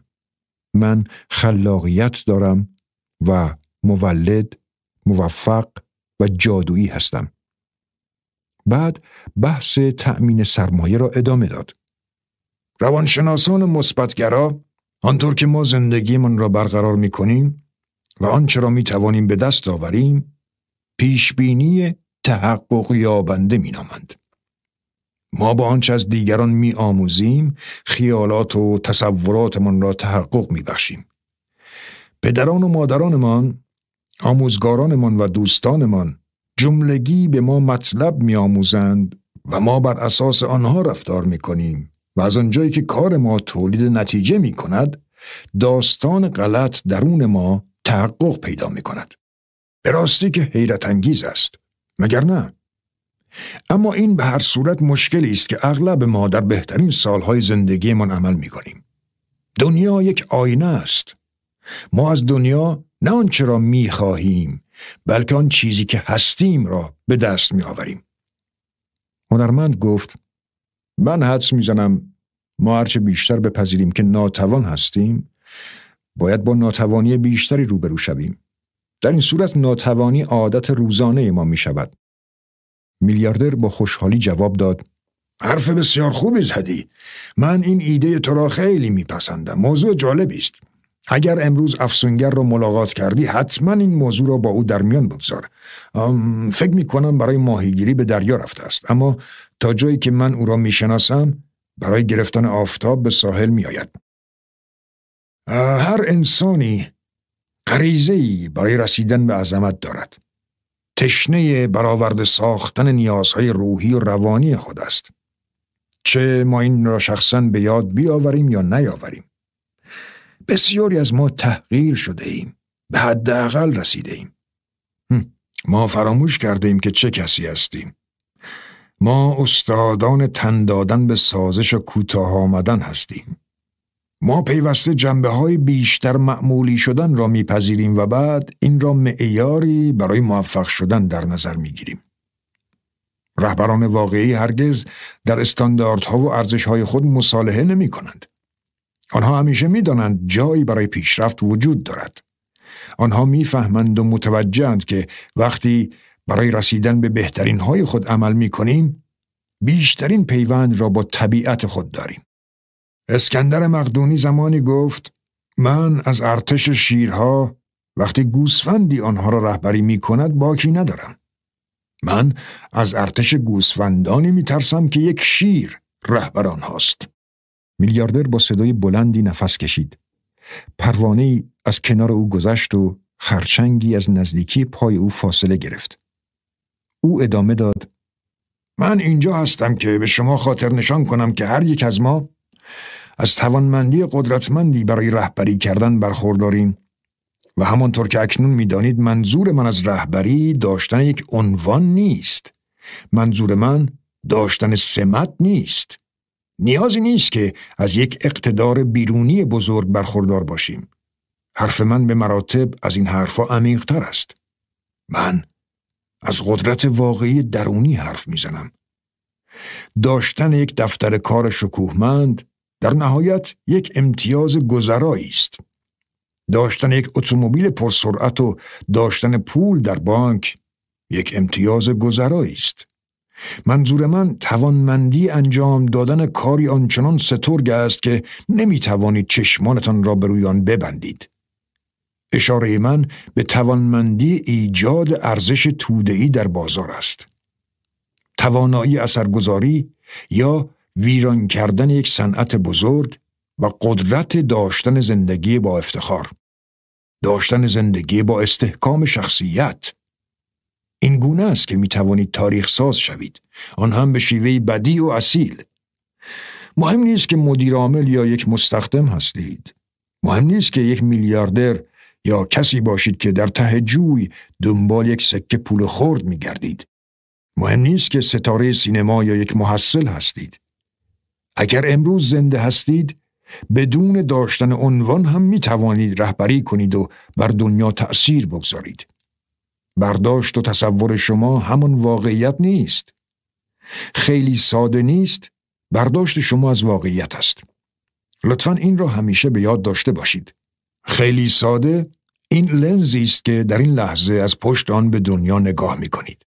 آرتور شوپنهاور فیلسوف آلمانی می گوید اغلب اشخاص محدودیت های دید و پنداری خود را به محدودیت های دنیا نسبت می دهند. تنها معدود این کار را نمی کنند. به آنها بپیوندید. کارآفرین گفت با این حساب تفاوت مهمی میان واقعیت و برداشت ما از واقعیت وجود دارد. درست می‌گویم؟ به نظر می رسد که ما دنیا را از پشت فیلترهایی می بینیم که ناشی از برنامه نویسی شدن ماست. ما تصور می کنیم آنچه از واقعیت برداشت می کنیم همون واقعیت است. شما باعث شدید که نظر من نسبت به دنیا عوض شود و آن را طور دیگری ببینم. کارآفرین ادامه داد. کم کم برایم سوالات زیادی مطرح می شود. اصولا چرا این کار را شروع کردم؟ چرا موقعیت اجتماعی تا این اندازه برایم مهم است؟ چرا برایم مهم است که در مجلل ترین رستوران ها غذا بخورم و در بهترین محیط های شهری زندگی کنم و پشت فرمان شیکترین اتومبیل ها بنشینم؟ شاید علتش این است که من هویت خودم به عنوان یک انسان را از بنیانگذار بودن به دست می آورم. موضوع شبیه فرمول موفقیت سه مرحله است که دیروز آن را به من آموزش داده اید.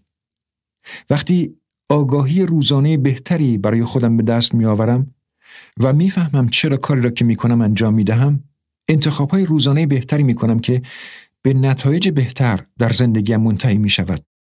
کارفرما همچنان حرف می زد. من اطلاعی درباره ارزش های اصیلم ندارم.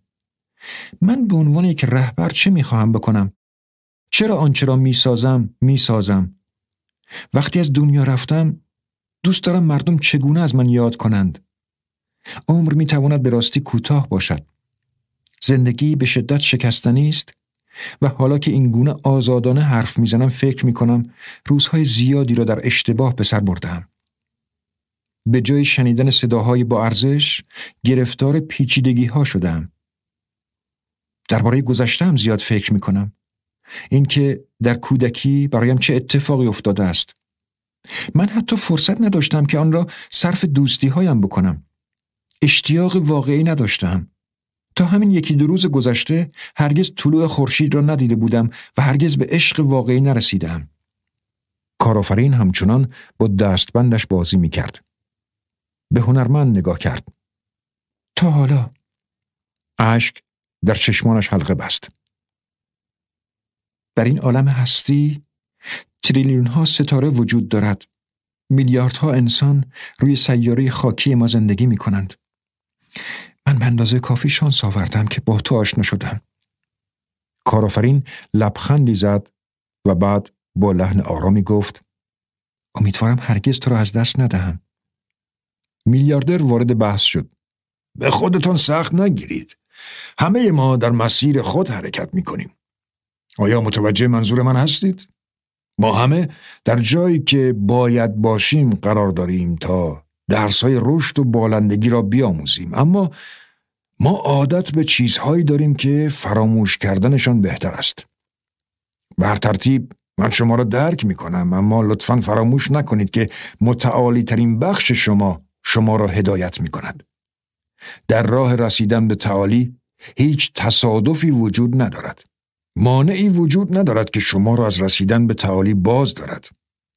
ما انسانهای معمولی هستیم. تجربه انسانی داریم. عالم هستی از شما انتظار دارد که پول فراوان داشته باشید. فراوانی راه طبیعت است. گلها، درختان لیمو و ستاره در آسمان کم نیستند. می توان برای آنها محدودیتی در نظر گرفت. این به شما فرصت مناسبی می دهد که به نیازمندان کمک کنید. توریستی که پشت قایق تندرو اسکی می کرد به سرعت از نزدیک ساحل رد شد. خنده از روی شادیش بلند بود. میلیاردر ادامه داد اجازه بدهید رازی را با شما در میان بگذارم.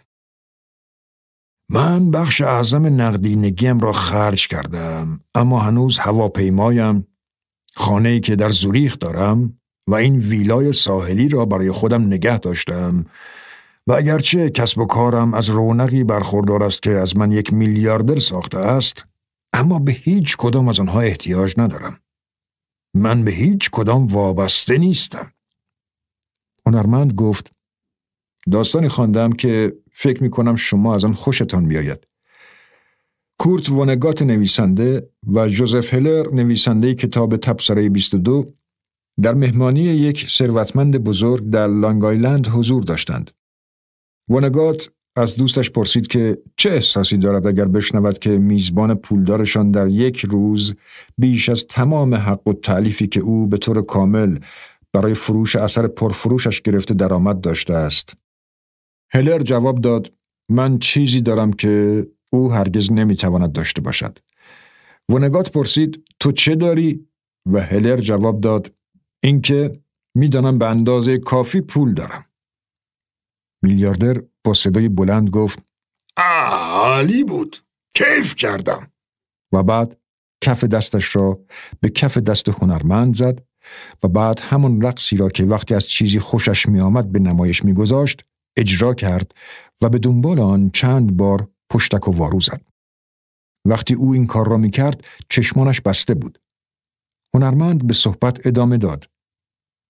من می‌فهمم شما که در این لحظه درباره تأمین سرمایه و پیشگویی کامبخش به ما درس می دهید منظورتان چیست؟ من حرف شما را درک می کنم. تا ما به عظمت خودمان پی نبریم کسی توانمندی ما را باور نخواهد کرد. می‌دانید پابلو پیکاسو زمانی چه گفته است؟ کارآفرین به میان صحبت پرید. لطفا بگو چه گفته است؟ پیکاسو گفته است مادرم به من گفته اگر تو یک سرباز باشی روزی یک ژنرال می‌شوی. من یک نقاش بودم و پیکاسو شدم. میلیاردر گفت به این می‌گویند اعتماد به نفس. میلیاردر دستی بر چانه آفتاب خوردش کشید و بعد لحظه‌ای به پایین به ماسه های سفید نگاه کرد. کارآفرین گفت تنها پدر و مادر مسئول محدودیت هایی که اغلب اشخاص در ذهنشان دارند نیستند. بسیاری از معلمان ما اصرار دارند که ما اشخاصی معمولی هستیم و آنهایی که نابغه هستند در ورزش و علم و هنر به جای می رسند. ما باید بپذیریم که اشخاصی معمولی هستیم و هرگز نمی توانیم کارهای برجسته خلق کنیم که نفس دیگران را بگیرد و چشمانشان را گشاد کند. بعد نوبت به دوستانمان می رسد که این قبیل باورها را تایید می کنند. ما توانمندی های خود را به حداقل می رسانیم. ما به دور توانمندی هایمان حسار می کشیم. ما در شکل رهبر ظاهر نمی شویم. ما همچون مولدهای بزرگ ظاهر نمی شویم. ما چونان قربانی رفتار می کنیم. ناامیدی پیش آمدی است که برای خیلی ها اتفاق می افتد و اغلب ما متوجه این شستشوی مغزی نیستیم. بله همینطور است و از همه اینها بدتر این که قابلیت های بروز داده نشده به رنج و درد منتهی می شوند. هنرمند پرسید منظورتان چیست؟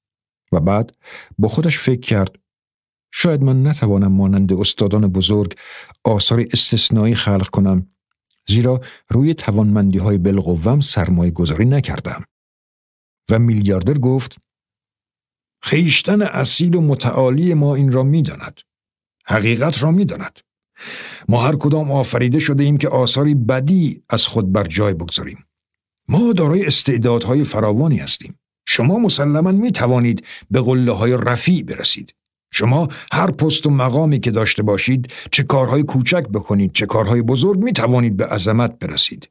می توانید روی زندگی دیگران اثر بگذارید. اما ما درباره خودمان باورهای اشتباه داریم. هنرمند گفت چقدر جالب. من جدا فکر می کنم به تغییرات گسترده نیاز دارم من از اینکه این همه احساس خستگی می کنم آزردم. من به توانمندی های خلاقم توجه نمی کنم. کم کم دارم احساس می کنم انسان ویژه‌ای هستم. کارفرما در تایید این حرف گفت صد درصد هستی. البته که هستی. و هنرمند گفت در ضمن من احساس می کنم بیش از اندازه به نظرات دیگران بها می دهم. بعض از دوستانم نقاشی های مرا مسخره می کنند. فکر می کنم آنها مرا درک نمی کنند. آنها متوجه برداشت من از هنرم نیستند. میلیاردر زمزمه کرد. بسیاری از نوابق تا چندین دهه بعد از مرگشان مورد توجه قرار نمی گیرند. و اما درباره اشاره‌ای که به دوستانت کرده ای من فکر می کنم تو دوستان مناسبی برای خودت انتخاب نکرده ای. حالا زمان آن رسیده به جای اینکه خودت را محدود کنی کارت را انجام بدهی. کورت کوبین در این مورد حرف حساب می‌زند. او می‌گوید خسته شدم از بس وانمود کردم که شخص دیگری هستم تا مورد پسند دیگران واقع شوم. هنرمند سری به علامت تایید فرود آورد. بله، همینطور است. حرف من درست است. ما تبدیل به معاشرانمان می‌شویم. اگر با آدمهای منفی خور باشیم، هرگز کار مثبتی انجام نمی‌دهیم. این چیزی که من می‌گویم در ما احساس حراس و تنفر نسبت به خود ایجاد می کند. اغلب ما آگاهی لازم برای روبرو شدن با این موقعیت را نداریم و اگر دیگران هم به این موضوع اشاره کنند منکر آن می‌شویم. کارآفرین گفت می توانید مثالی بزنید؟ مثل خواندن پیوسته پیام های تلفنی یا تماشای بیش از اندازه تلویزیون برنامه های تلویزیون امروزه به قدری جلب توجه می کنند که به سختی می توان به آنها توجه نکرد. هنوز برنامه تمام نشده برنامه دیگری جایگزین می شود. بسیاری از ما با شایع پراکنی و حرف زدن از عظمت خود فاصله می گیریم. ما نمی توانیم میان مولد بودن و کار داشتن زیاد تفاوت قائل شویم. دسترسی به بسیاری از تأثیرگذاران و نوابق و کسانی که دنیا را می سازند دشوار است. نمی توانید وقت آنها را بیش از اندازه بگیرید. دسترسی به آنها سخت است. آنها کارهای واقعی می کنند. تن به کارهای سطحی نمی دهند. ما با تماشای بیش از اندازه تلویزیون با زیاد خوردن، زیاد نوشیدن، زیاد خوابیدن یا کار بیش از اندازه از واقعیت ها فرار می کنیم. میلیاردر جرعی از آب درون شیشش را نوشید. قایق ماهیگیری دیگری عبور کرد. قایقران که یک زن بود برای آقای رایلی دست تکان داد و آقای رایلی هم در جواب تعظیم کرد. افسونگر به این قربانی شدن فرا گرفته شده می‌گوید. وقتی دوران جوانی را پشت سر می‌گذاریم می‌خواهیم آسودگی خیال پیدا کنیم. از بست دادن مرزهای خود خودداری می‌کنیم. در نقشه قربانی ظاهر می‌شویم. مرتب عذر و بهانه میآوریم. بعد ذهن نیمه هوشیارمان آن را باور می کند و عین حقیقت می پندارد. ما دیگران را سرزنش می کنیم و شرایط بیرونی را مسئول تقلاهای خود ارزیابی می کنیم. ما گذشته ها را مسئول مشکلات خود قلمداد می کنیم.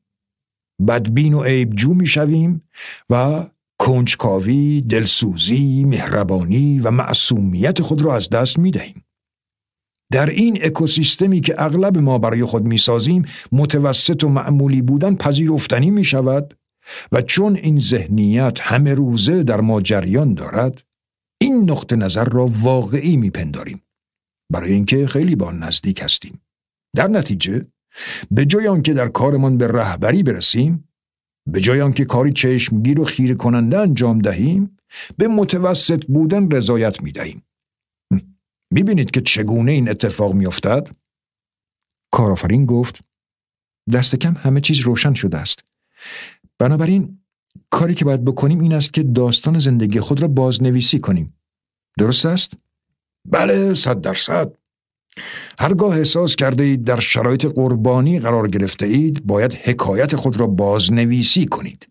این گونه هویت خود را ارتقا می بخشید از حرمت نفس بیشتری برخوردار می گردید اعتماد به نفستان را زیاد می کنید و در نتیجه بر قدرت و توانمندی خود می افزایید. و وقتی به این کار تداوم می بخشید وقتی در شرایطی قرار می گیرید که استعدادهای مادرزادی خود را شکوفا کنید به رشد می رسید. حالا میلیاردر از دو مهمان خود دعوت کرد که با او به ایوان بروند تا درس صبح را ادامه دهند. پرتی مرگ تولید خلاق شماست. این راهنمای ما در این بخش از برنامه آموزش صبحگاهی است. من تصمیم گرفتم درباره پرت شدن حواس و غلبه بر آن برایتان حرف بزنم. زیرا این موضوع بسیار مهمی در فرهنگ است. به طریقی فناوری های جدید و رسانه های اجتماعی روی توانمندی های بالقوه بهرهوری ما تأثیر نامناسب می‌گذارند و به ما آموزش می‌دهند که کمتر یک انسان باشیم. ما گفتگوهای واقعی کمتری داریم، ارتباط و پیوندهای کمتری داریم، تبادلهای معنیدار ما هم کمتر شده است. کارآفرین گفت هر زمانی که میگذرد بیشتر این مطلب را درک می کنم. میلیاردر ادامه داد پر کردن ساعات ارزشمند با اقدامات و حرکات بیمعنی برای اغلب اشخاص حکم مواد مخدر را دارد. عقل حکم می کند که وقتمان را صرف کارهایی با ارزش صفر نکنیم. اما به لحاظ احساس نمی توانیم وسوسه را از میدان بدر کنیم. نمی توانیم با این گرفتاری بجنگیم.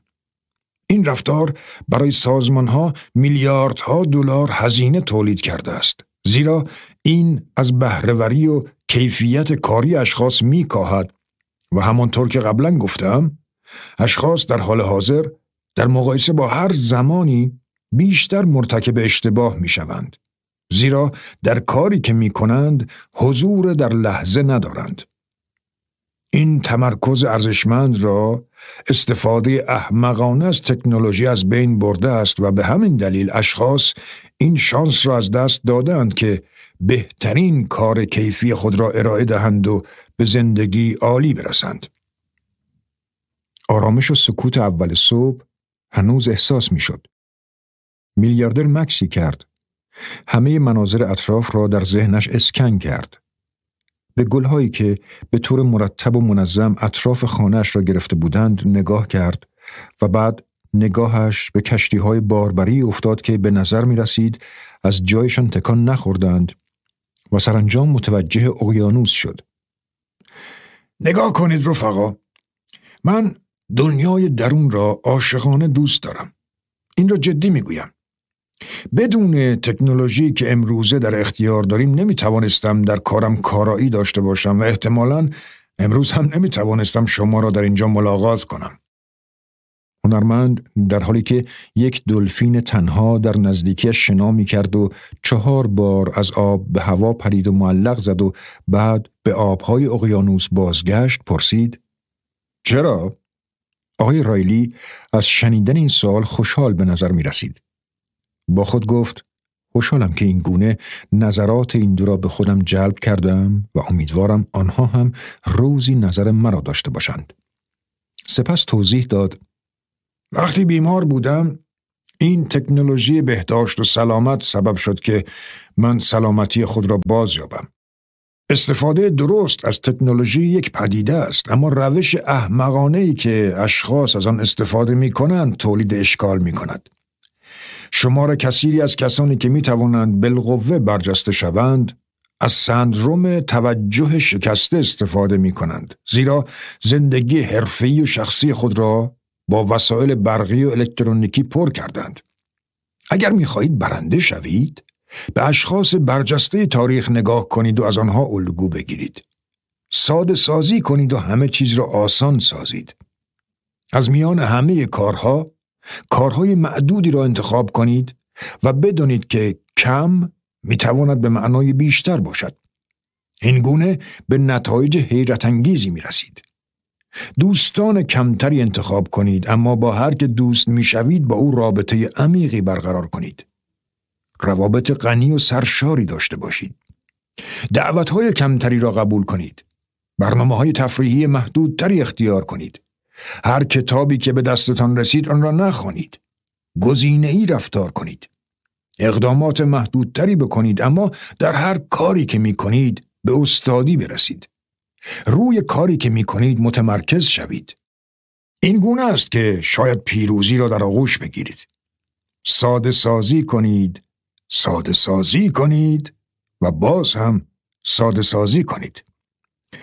به جای مدیریت زمان تمرکزتان را مدیریت کنید. در جامعه شلوغ و بی تمرکز ما اصلی برای رسیدن به عظمت وجود دارد. هنرمند گفت از تعالیمی که تا به اینجا به ما داده تشکر می کنم. حالا می‌فهمم که کار زیاد کردن با مولد بودن و بهرهوری داشتن یکی نیست. من به این نتیجه رسیدم که وقتی روی نقاشی جدیدی کار می کنم لایه های تاریک وجود من می‌خواهد حواسم را پرت کند تا به خلق یک اثر بزرگ نرسم. حالا که به آن فکر می کنم می بینم این موضوع زیاد برای من اتفاق می افتد. هرگاه در کارم پیشرفت می کنم موردی مانع موفقیتم می شود. بیشتر به سراغ موبایل و شبکه های آنلاین می روم. صبحها دیرتر از خواب بیدار می شوم. شبها دیرتر می خوابم تا شوهای تلویزیونی را تماشا و با دوستانم ویدیو گیم بازی کنم. میلیاردر در تایید این حرف گفت هرچه به نبوغ خود نزدیکتر شوید بیشتر با ویرانگری حراسهایتان روبرو می شوید. بیشتر می ترسید که همرنگ جماعت نشوید و متفاوت از اکثریت شوید. بیشتر می ترسید به خودتان فشار بیاورید که پروژه بعدیتان را بهتر کنید. از شکست خود می ترسید. می ترسید که به اندازه کافی خوب نباشید. می ترسید راه های جدید را امتحان کنید. هنرمند به میان صحبت پرید. می توانیم کاری کنیم که همه روزه نتایج بهتری به دست آوریم. دقیقا. وقتی به این توجه داشته باشید زمانی که به بالاترین استعدادها و توانمندیهایتان نزدیک می‌شوید جنبه حراسیده شما سرزنشش را نشان می دهد و سعی می کند آن شاهکاری را که ایجاد کرده اید از بین ببرد. اما شما می توانید از این شرایط بیرون بیایید. می توانید رفتار خود ویرانگر را کنترل کنید و قدرت او را بگیرید. کارآفرین گفت حرف واقعا جالبی است. این توضیح می‌دهد که چرا بهرهوریم را محدود می کنم و عملکرد و نفوذم را در شرکت کاهش می دهم. من هدف مهمی را در نظر می گیرم. از افرادم می خواهم در آن مشارکت کنند. کارهایی را که باید بکنم انجام می دهم و بعد دچار پرتی حواس می شوم. به فرصت مناسب دیگری جواب آری می دهم که بر پیچیدگی کارهایمان می افزاید. مرتب جلسه های بیفایده می گذارم. با کسانی جلسه می گذارم که می خواهند صدایشان شنیده شود. وسواس گونه به موبایلم نگاه می کنم تا در جریان خبرهای مهم روز قرار بگیرم. امروز صبح فهمیدم که چگونه اثر بخشی خودم را خراب می کنم. کاملا مشخص است که من به محملات دیجیتالی که شما از آن حرف می‌زنید محتاط هستم. باید صادقانه بگویم هنوز نتوانستم برخی از روابط احساس قبلیم را حل کنم. حالا متوجهم که بسیاری از خلاقیت هایم را به خاطر رفتن به فضای مجازی از دست می دهم. آقای رایلی همانطور که شما گفته اید این نوعی فرار کردن است. به نظر می رسد نمی توانم از خریدهای موبایلیم دست بکشم. بیش از اندازه ساده است. چند دقیقه از کارم احساس رضایت می کنم. حالا متوجه می شوم که چرا استیو جابز محصولاتی را که به دنیا می فروشد از فرزندانش دریغ می کند. او فهمیده است که این ابزار اگر به درستی استفاده نشوند چقدر اعتیادآور هستند و چگونه از انسان بودن و زنده بودن ما میکاهند. میلیاردر دستش را بلند کرد. یکی از دستیارانش به سرعت از ساحل آمد و خودش را به ایوانی که حالا کم کم آفتاب گرفته بود رساند. او پیراهن سفید و شلوار کوتاه زغالی رنگی پوشیده بود و سندلهای چرمی سیاه رنگی به پا داشت. مرد جوان یک سینی را که رویش نقش و نگار مرموزی حک شده بود به میلیاردر داد و با لحجه فرانسوی گفت بفرمایید قربان. آنچه روی سینی حک شده بود مغز یک انسان بود. میلیاردر از دستیارش تشکر کرد و پس از رفتن او گفت حالا اجازه بدهید که درباره علم عصب شناسی خود ویرانگری کمی صحبت کنیم تا شما رفقای عزیز بیشتر در جریان امر قرار بگیرید. به خاطر داشته باشید همونطور که افسونگر گفته است همه ما دارای یک مغز کهن هستیم. این مغز از دستگاه لیمبیک تشکیل شده است. ساختارهایی از مغز که در هر دو سمت تالاموس و درست زیر مغز واقع شدند. این بخش از مغز سبب شده که طی هزاران سال از قحطی و گرسنگی، مقابله با دشمن، هوای به شدت سرد و گرم و ببرهای تیزدندان در امان باشیم. این بخش از مغز ما را از خطرات آگاه می سازد تا بتوانیم به عنوان یک موجود به بقای خود ادامه دهیم. تا اینجا متوجه حرف من هستید؟ کارفرما و هنرمند به اتفاق جواب مثبت دادند. در این زمان پیشخدمت چای تازه دم همراه با لیمو و تکه های زنجبیل برایشان آورد. آلیست. یکی از ویژگی های جالب مغز کهن ما اریب منفی بینی آن است. این سبب می شود که به جنبه های مثبت محیط زندگیمان توجه نکنیم. این بخش از مغز آنچه بد است را به ما یادآور می شود. این مغز دنبال خطر می گردد. این گونه وقتی شرایط زمان سخت و بیرحمانه بود سبب شد که ما زنده بمانیم. این مکانیزم به اجداد کهن ما کمک های قابل توجهی کرده است. اما در دنیای امروز اغلب ما با خطرهای روزانه روبرو نیستیم. واقعیت این است که مردم به طور متوسط از کیفیت زندگی عالی تری برخوردارند. لطفا به این موهبتی که داریم فکر کنید. میلیاردر کمی چای نوشید. و با این حال به خاطر این عریب منفی بینی درونساز پیوسته مترصد آن چیزهایی است که ایمنی و امنیت ما را به مخاطره میاندازد. ما در حالت بیش از اندازه از هوشیاری قرار داریم و حتی وقتی همه چیز رو به راه است اغلب مشوش هستیم و تنش داریم. جالب است نه؟ کارفرما در حالی که کمی از چایش را نوشید گفت این توضیح می‌داد که چرا ما این گونه که هستیم فکر می‌کنیم. حالا می‌فهمم که چرا من آنچه را به آن دست یافتم کافی نمی‌دانم و این در حالی است که دستاوردهای من از هر کسی که می‌شناسم بیشتر بوده است. من تجارت بسیار موفقی دارم پول زیادی ذخیره کردم و قبل از اینکه شرکایم حریص شوند زندگی خوب و راحتی داشتم. ولی با این حال مغزم پیوسته به چیزهایی که ندارم فکر می کند. این مرا دیوانه می کند. آرامشی در خود احساس نمی کنم. هرگز. کارفرما حالا دستهایش را به طور ضربدری روی سینهش گذاشت و هنرمند در حالی که موهایش در وزش باد تکان می‌خورد با دست بوسه ای برایش فرستاد. میلیاردر گفت تئودور روزولت حرفی زده است که فکر می کنم شنیدنش خالی از لطف نباشد. کارفرما که هنوز دست به سینه ایستاده بود پرسید مگر او چه گفته است؟ مقایسه دزد شادی است. همیشه کسی پیدا می شود که پول بیشتری دارد، شهرت و محبوبیت بیشتری دارد. به حرفی که قبلا زده ام فکر کنید. مهم این است که بدانیم چه زمانی کافی است. کارفرما معدبانه گفت بله من به خاطر دارم. بخش اعظم این آتش شما ناشی از آن است که احساس کمبود می کنید و بخش بیشتر آن نتیجه کارکرد مغز کهن است.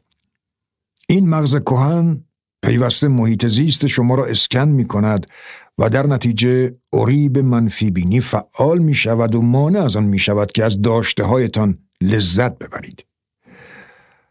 بسیار خوب.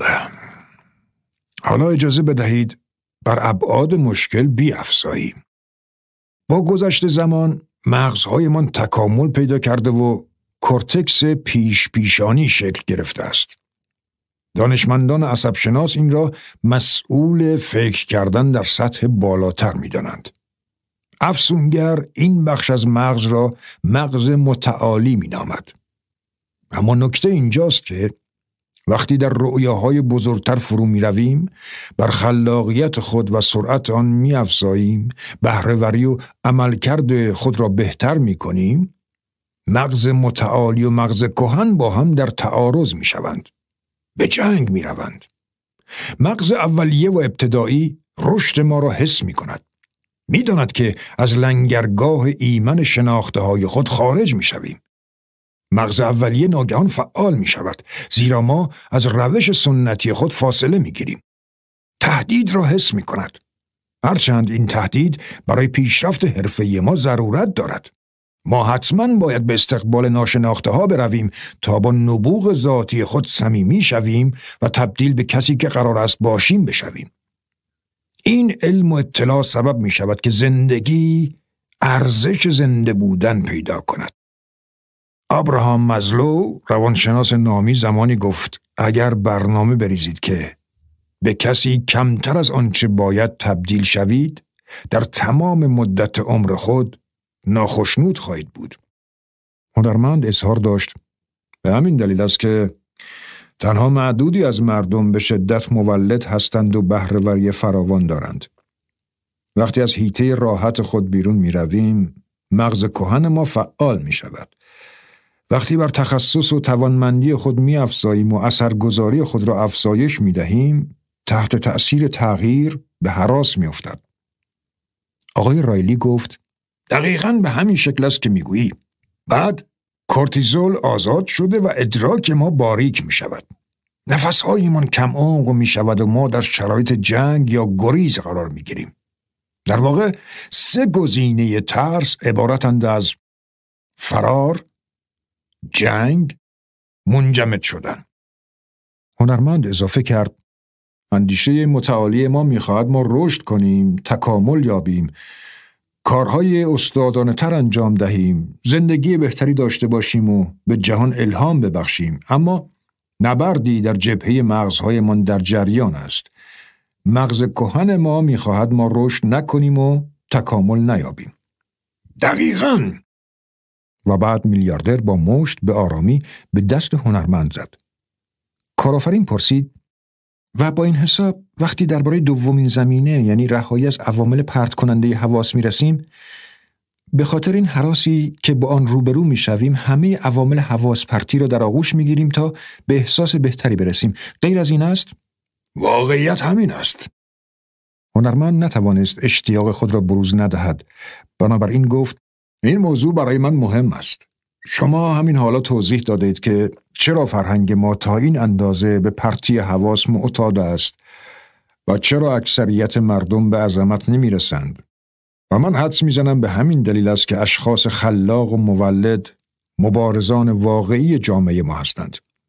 ما نه تنها باید با توهینهای منفی به آنان و منتقدانی که هنر ما را نمی‌فهمند برخورد کنیم بلکه نباید اجازه بدهیم که مغز کهن ما ما را از رسیدن به عظمت باز دارد. آه چقدر شاعرانه گفتی دوست من. و بعد طبق معمول رقص کوتاهش را تکرار کرد و مستخدمی که در حال جارو کردن ایوان بود سری تکان داد. خیلی شجاعت می‌خواهد که وحشت رشد حرفه‌ای و شخصی را احساس کنید و با این حال به راهتان ادامه دهید. اگر در شرایط ترس به راهتان ادامه دهید تبدیل به یک افسانه و استوره می شوید. شما دو نفر سازنده آثار بزرگ هستید. همه سازندگان همه روز از ترس خود عبور می کنند و به سطح بالاتری از آزادی انسانی و اثرگذاری می رسند و پاداشی عالی که به خاطر ابراز قدرتها و استعدادهایتان دریافت می کنید به طور کامل حاصل تلاش های قهرمانانه شما نیست. پاداش اصلی شخصیت جدیدی است که به سبب تحمل ترس و حرکت در جهت تعالی به دست می آورید.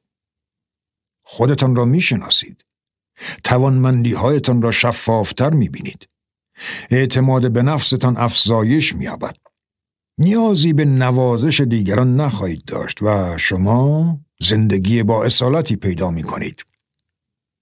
میلیاردر قبل از اینکه به حواس پرتی های ناشی از موبایل و فناوری دیجیتال بپردازد جرعه از شیشه آبش را نوشید و ادامه داد و اینجاست که عضو باشگاه ساعت پنج صبح شدن می‌تواند برای شما معجزه کند.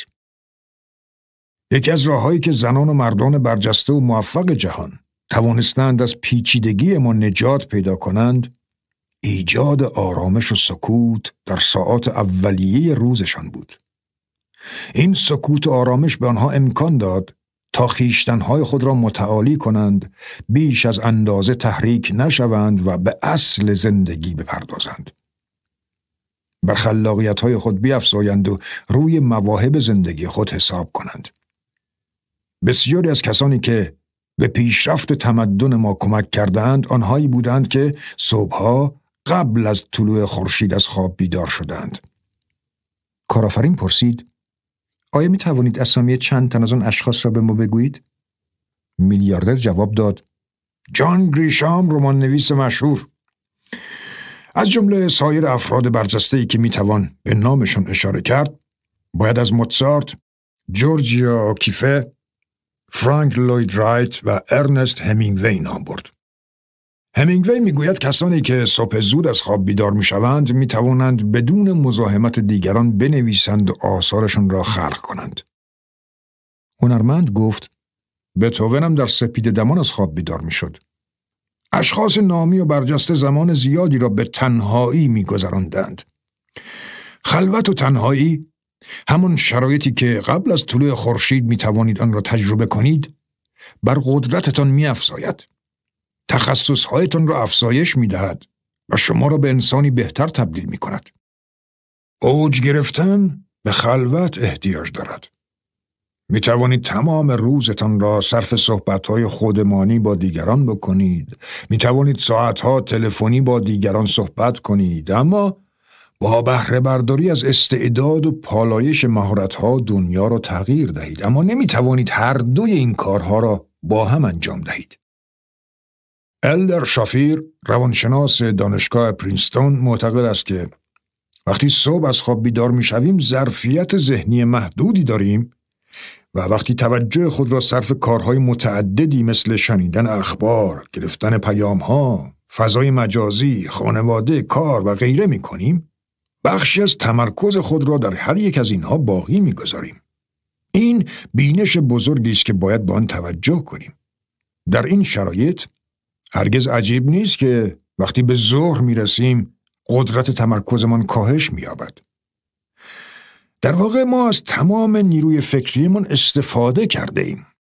سوفی لروی استاد مدیریت بازرگانی دانشگاه مینسوتا تمرکزی را که روی حواس پرتی صرف می کنیم باقی مانده تمرکز نامگذاری کرده است.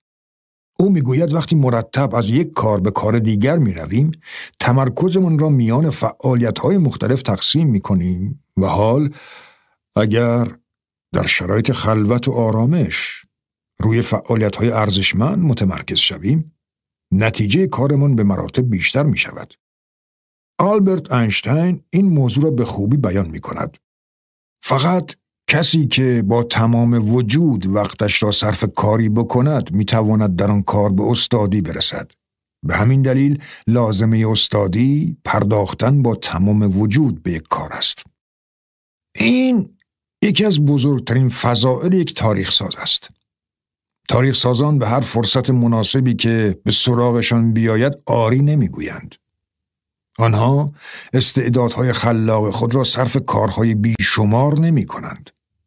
آنها تنها به انجام دادن معدودی کار رضایت می دهند اما این کار را به شکلی مثال زدنی انجام می دهند. این همانی است که قبلا هم به آن اشاره کردم. بزرگان این مطلب را درک می کنند که خلق یک اثر جاویدان که برای نسلهای متمادی دوام آورد رفتاری به مراتب هوشمندانه تر از آن است که هزاران کار انجام دهند که نبوغی را به نمایش نگذارد. و لطفاً به این موضوع هم توجه داشته باشید. ساعاتی را که 95 درصد مردم تلف می کنند، آن 5 درصد باقی مانده برتر ذخیره می کنند. ساعت پنج صبح زمانی است که کمترین حواس پرتی وجود دارد. بالاترین شکوه انسانی را به همراه می آورد و بیشترین آرامش را تولید می کند. از این رو از این ساعت پیروزی و موفقیت به خوبی استفاده کنید. این گونه به بهرهوری بزرگ می رسید و استادی و مهارت خود را به حد اکثر می رسانید. نمی‌خواهم بیش از اندازه به موضوع علم عصب شناسی که امروز صبح با شما در میان گذاشتم بپردازم. هرچند یک موضوع بسیار جالب را برایتان ذخیره کردم. اما یک موضوع است که می‌خواهم با شما دو نفر سهیم شوم و اسمش هیپو فرونتالیتی گذرایی است. هنرمند در حالی که میخندید پرسید چه گفتی؟ میلیاردر به درخت نخل سر به فلک کشیده اشاره کرد که تنه قطورش نشان از کهنسالی آن می‌داد. زیر این درخت یک میز چوبی گرد آفتاب خورده دیده می‌شد. روی میز الگویی با ظرافت حک شده بود. میلیاردر گلوی صاف کرد و کمی چای لیمو خورد. بعد از چند ثانیه شروع به قرقره کردن کرد. بله، قرقره کردن. و بعد به توضیحاتش ادامه داد. وقتی صبح زود از خواب بیدار می و تنها و در خلوت و از سر صدای مزاحم دور هستید توجهتان میان فناوری جلسات مختلف و سایر نیروهایی که حد اکثر بهرهوری شما را محدود می کنند پخش نمی شود.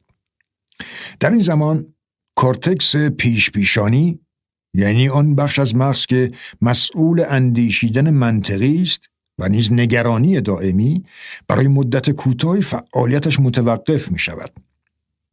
اطلاعاتی عالی مگر نه؟ این بخش گذرایی هیپوفرانتی گذرایی است. این یک اتفاق موقتی است. تجزیه و تحلیل بیوقفه شما نوشخار کردن و فکر کردن بیش از اندازه مولد استرس متوقف می شود. از اینکه بخواهید از همه چیز سر در بیاورید دست می‌کشید. بی جهت نگران حوادثی که ممکن است هیچ وقت اتفاق نیفتند نمی‌شوید. امواج مغزی شما تغییر شکل می دهند. از بتا به آلفا می رسند. و حتی در مواقع شما تتا را تجربه می کنید. خلوت و تنهای سکوت بر تولید انتقال دهنده های عصبی مانند دوپامین و سروتونین می افزایند. آقای رایلی دست چپش را روی نمودار روی میز گذاشت و سپس با اشتیاق اضافه کرد مرحله جریان نقطه اوج ذهنی است که تمام اشخاص استثنایی مانند ویلنیست های بزرگ، قهرمانان بزرگ ورزشی، های برتر، دانشمندان برجسته، کارآفرینان نخبه و رهبران افسانه‌ای و حماسه‌ای در آن قرار می‌گیرد. وقتی خود را در شرایط آرامش صبح و به دور از کار و گرفتاری قرار می دهید، مغزتان به قلمرو نبوغ ناب قدم می گذارد. خبر عالی برای شما دو نفر این است که با حرکت درست می توانید به عمل کرده حیرت انگیز برسید. کارآفرین در حالی که موبایلش را در جیب شلوارش میگذاشت گفت هپو فرونتالیتی گذرایی. الگوی مفیدی است. و هنرمند اضافه کرد اگر مردم این اطلاعات را در اختیار داشتند همه جهان متحول می‌شد. کارآفرین پیشنهاد کرد باید این مطالب در مدارس آموزش داده شوند. میلیاردر در تایید حرف کارآفرین گفت بله صد درصد. اما باید بگویم آنچه در این زمینه مطرح کردم حاصل زحمات افسونگر است. او بزرگترین معلم ماست و بدون کمترین تردید او موجه ترین انسانی است که تا به حال دیدم. نبوغ بدون داشتن استحکام شخصیت برای من جالب توجه نیست. موفقیت های استثنایی بدون دلسوزی و محبت بیمعنی است. بله اگر همه مردم این اطلاعات را در اختیار می داشتند و متعهد می شدند که مطابق آنها رفتار کنند دنیا متحول می شد و پیشرفت می کرد زیرا هر یک از ما از قدرت نهفتی برخوردار می شدیم که نتایجی فوقلاده بر جای می گذاشتیم و تبدیل به انسانهای موفق و شکوهمند می شدیم.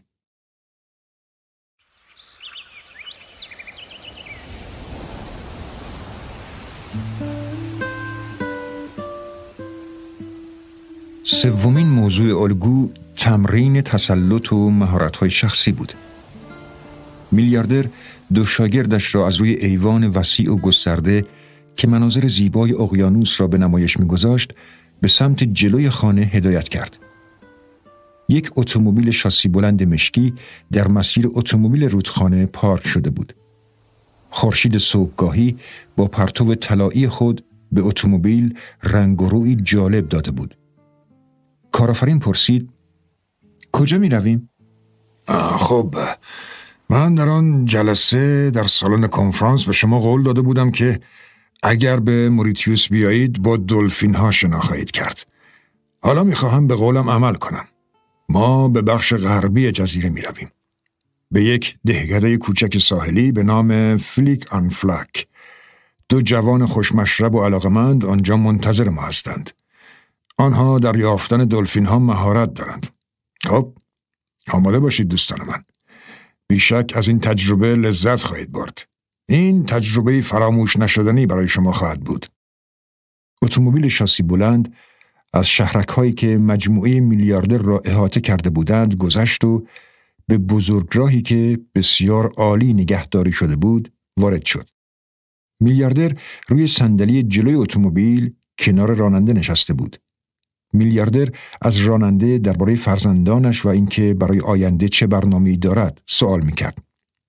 در طول سفر آقای رایلی سوالات متفکرانه می کرد و بعد در حالی که به پشتی صندلیاش تکیه می‌داد به جوابهای راننده گوش می‌داد. معلوم بود که او مردی عمیق با دلی مهربان است. اتومبیل شاسی بلند از سرعتش کاست. آنها به بندری زیبا با ساحلی شنی رسیدند. چند کلبه سفید رنگ، یک رستوران غذاهای دریایی، و چندین قایق قدیمی در آب دیده می شدند. خروسی مقرورانه بانگ برآورد که از رسیدن صبح خبر می‌داد.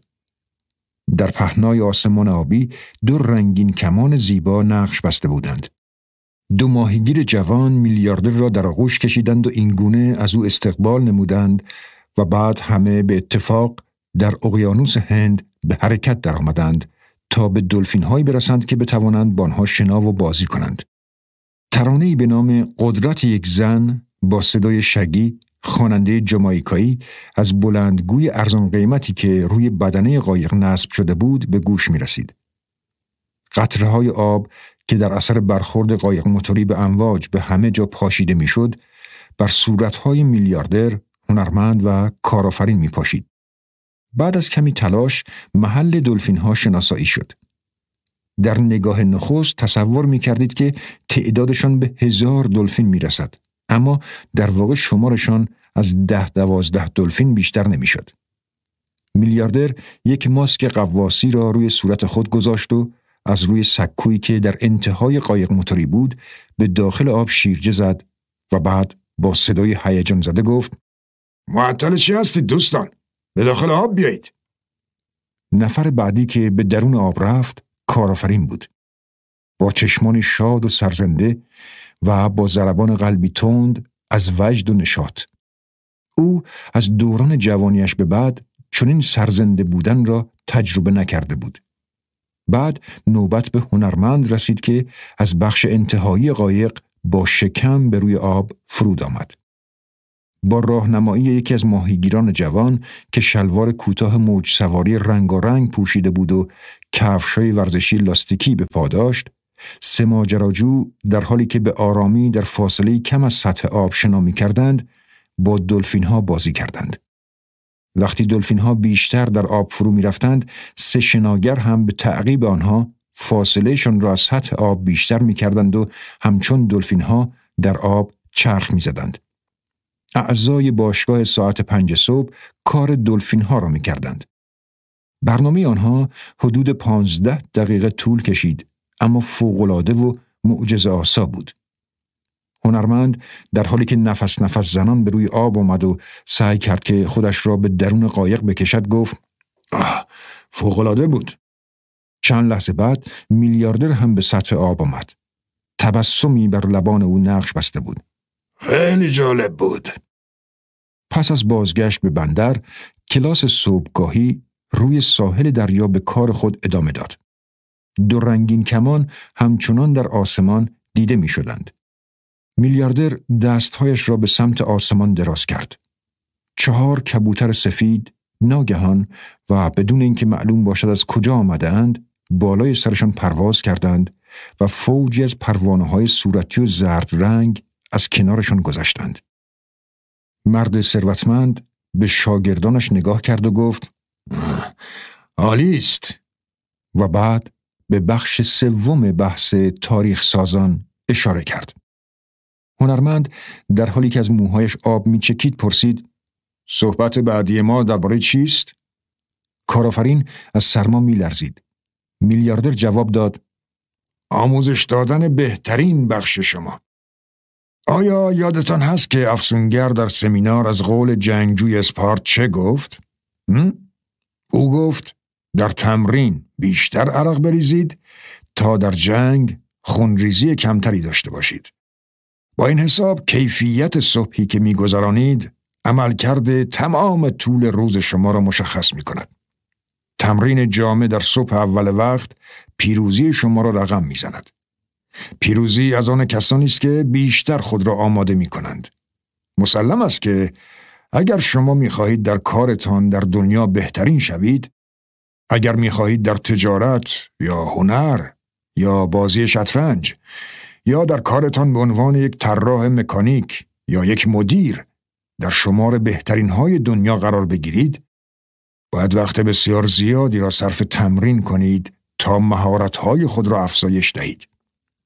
به طور خاص یک هنرمند و مجری باید دست کم به مدت ده سال روزی دو ساعت و چهل و چهار دقیقه از وقتش را صرف بهینه سازی خود کند.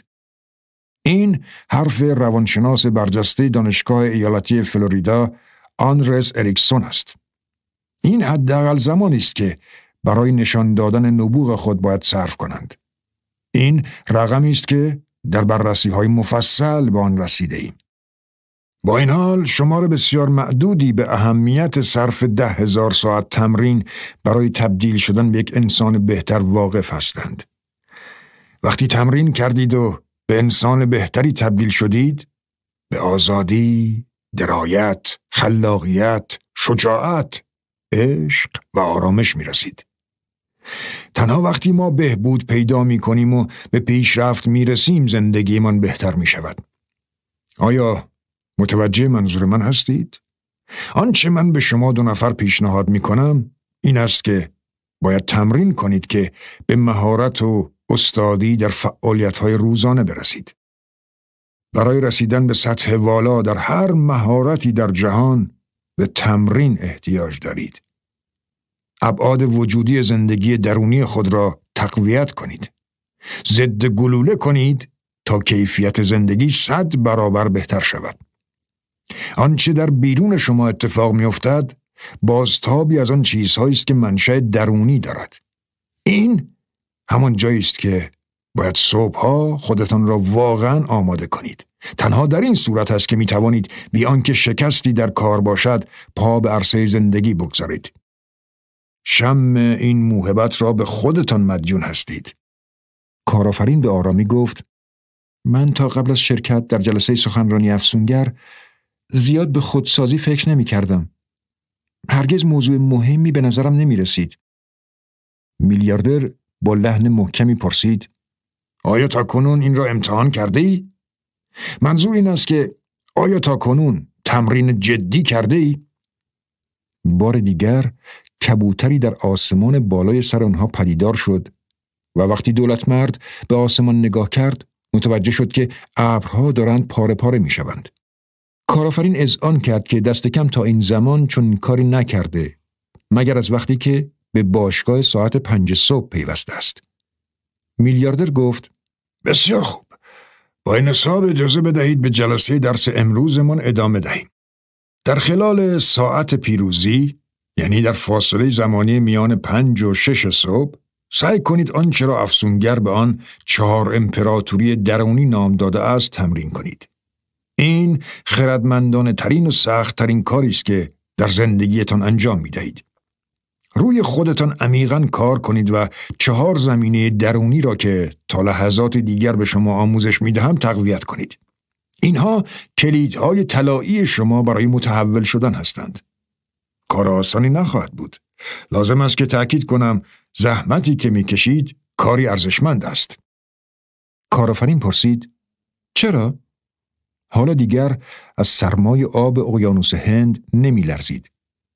هنوز از موهای هنرمند آب می چکید و خروس همچنان می خاند. میلیاردر جواب داد به این دلیل که امپراتوری های درون باید در سطح جهانی قرار گیرند تا بتوانید امپراتوری های بیرونی را ببینید. موفقیت شما همیشه بستگی به شجاعت و نترسیدنتان دارد. رفقا، این نکته قدرتمندی است.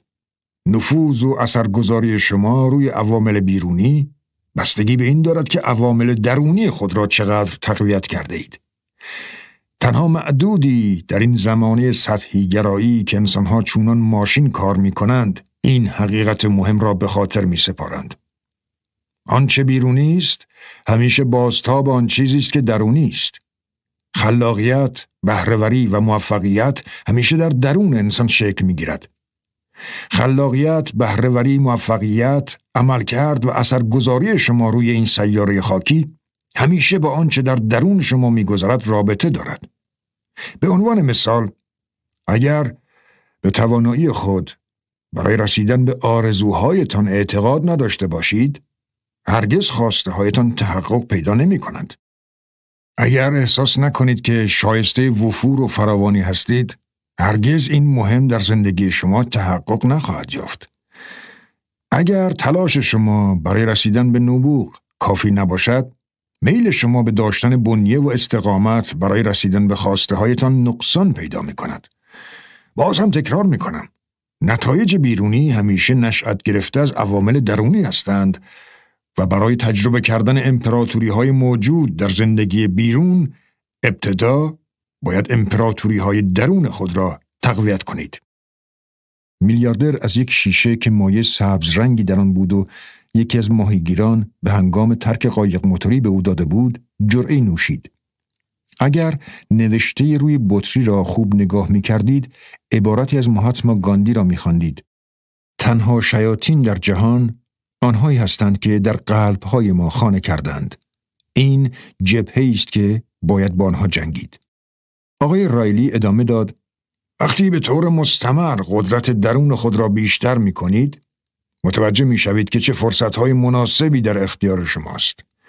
شما در جهان زیبایی زندگی خواهید کرد که اعضای اکثریت حتی تصورش را هم نمی توانند بکنند زیرا چشمان آنها را تردید و دودلی بیاعتقادی و ترس کور کرده است عظمت موضوعی مربوط به درون است حالا میلیاردر روی شنها الگوی جدیدی رسم کرد و ادامه داد بسیار خوب حالا باید این چارچوب را بیشتر بررسی کنیم تا آگاهی شفاف و واضحی پیدا کنید و بدانید کدام یک از جنبه های زندگی درونی خود را در ساعت پیروزی تقویت کنید. وقتی به فرمول 20 20 20 برسیم برایتان توضیح میدم. درباره آداب کامل صبحگاهی بحث خواهیم کرد اما در حال حاضر لطفا فقط بدانید که چهار امپراتوری درونی در هر کسی وجود دارد که می‌خواهیم آنها را تمرین دهیم و بهتر کنیم. می‌خواهیم این کار را قبل از بالا آمدن خورشید انجام دهیم. این چهار امپراتوری عبارتند از شرایط ذهنی، شرایط قلبی، این چهار امپراتوری به اتفاق پایه و اساس قدرت ذاتی هر کس را شکل می‌دهند. اغلب ما این چهار نیروی مهم را از دست داده ایم و علتش همانا پرداختن بیش از اندازه به جنبه ها و مسائل بیرونی است و بهترین زمان برای بهینه سازی این چهار امپراتوری ساعت پنج تا شش صبح است. اما همه ما از این توانمندی برخورداریم که این بهینه سازی را انجام دهیم. از فرصت صبح خود استفاده کنید تا زندگیتان ارتقا پیدا کند. کارآفرین پرسید اما در اینجا سوالی مطرح می شود. چه اتفاقی می افتد اگر من تنها هفته پنج روز این کار را انجام دهم و دو روز تعطیل آخر هفته را به کارهای دیگر بپردازم؟ این ساعت پنج صبح تا چه اندازه سخت و انعطاف ناپذیر است؟ میلیاردر در جواب گفت زندگی خود توست هر کاری که راحت تری انجام بده. هر کاری که به نظرت مناسب است انجام بده. من تنها اطلاعاتی را می دهم که افسونگر با من در میان گذاشته است. رعایت توصیه های او زندگی مرا متحول کرده است. مرا به ثروت رسانده و به من آموخته که از زندگیم لذت ببرم. به من کمک کرده تا به آرامش برسم. در واقع توصیه های او برایم آزادی شخصی به همراه آورده است. آنچه را من توصیه می کنم هر طور که صلاح می دانید رعایت کنید. ببینید چه روشی با سبک و طرز زندگی شما هم خانی دارد. این را هم بدانید که تعهد نصف نیمه نتایج نصف نیمه بر جای می‌گذارد. کارآفرین پرسید ممکن است درباره چهار امپراتوری درونی بیشتر توضیح بدهید؟ آموزه های شما سبب می شود که من زندگی سرشارتری داشته باشم و بهتر بتوانم با شرکایم مبارزه کنم. به امیدواری هایم برسم. شادی و اعتماد به نفسم را باز یابم. من قبلا در این زمینه حرفی نزدم اما در این چند روز که با شما آشنا شدم بسیاری از گفته های سخاوتمندانه شما را به کار بستم. حتما شما هم متوجه شده اید که من در شروع کار با بسیاری از حرفهای افسونگر موافق نبودم و در برابر حرفایش مقاومت می کردم. راستش را بخواهید نمی‌خواستم در سمینار او شرکت کنم. اما بعد به روی نظرات او و گفته های شما گشوده شدم. می‌دانید من عاشق زندگی هستم و حالا قصد دارم برای رسیدن به یک زندگی بلند مدت برنامه ریزی کنم. هنرمند گفت چه حرفای خوبی و بعد خم شد و از روی ماسه ها یک گوش ماهی که بیشباهت به قلب نبود برداشت و آن را در کف دست کارآفرین گذاشت و بعد انگشتان او را به صدف دریایی فشار داد و دستش را روی سینش گذاشت. کارآفرین ادامه داد من متوجه پیشرفت های زیاد در خود شدم. حالا که ساعت پنج صبح از خواب بیدار می شوم احساس می کنم تمرکز بیشتری دارم. از استرسم کاسته شده. احساس امنیت بیشتری می کنم. احساس می کنم انرژی بیشتری دارم. دوباره زندگیم چشماندازهای فراوانی دارد. از چیزهای مثبتی که در زندگیم وجود دارد سپاسگزارتر هستم. کمتر از حمله به شرکتم می ترسم. نسبت به آیندم هیجان بیشتری دارم. شرکای سرمایه گذاریم آدم های بدی هستند و من هنوز حاضر نیستم با آنها کنار بیایم اما احساسی که درباره این موضوع دارم و ترسم از آنها از بین رفته است. میلیاردر گفت آفرین بر تو و بعد پیراهنش را همانجا روی ساحل عوض کرد. ماشین شاسی بلند آمده بود. راننده مستقیم جلوی رستوران غذاهای دریایی پارک کرد. میلیاردر اضافه کرد تو آدم مدبری هستی. این توصیه ها خیلی ارزشمند هستند اما همانطور که گفتی تنها با تمرینات روزانه و به کار گرفتن این توصیه هاست که از تو یک زن قهرمان می سازد و سبب می شود که در کار تجاریت موفق شوی و دیگران را هم با خودت بالا بکشی.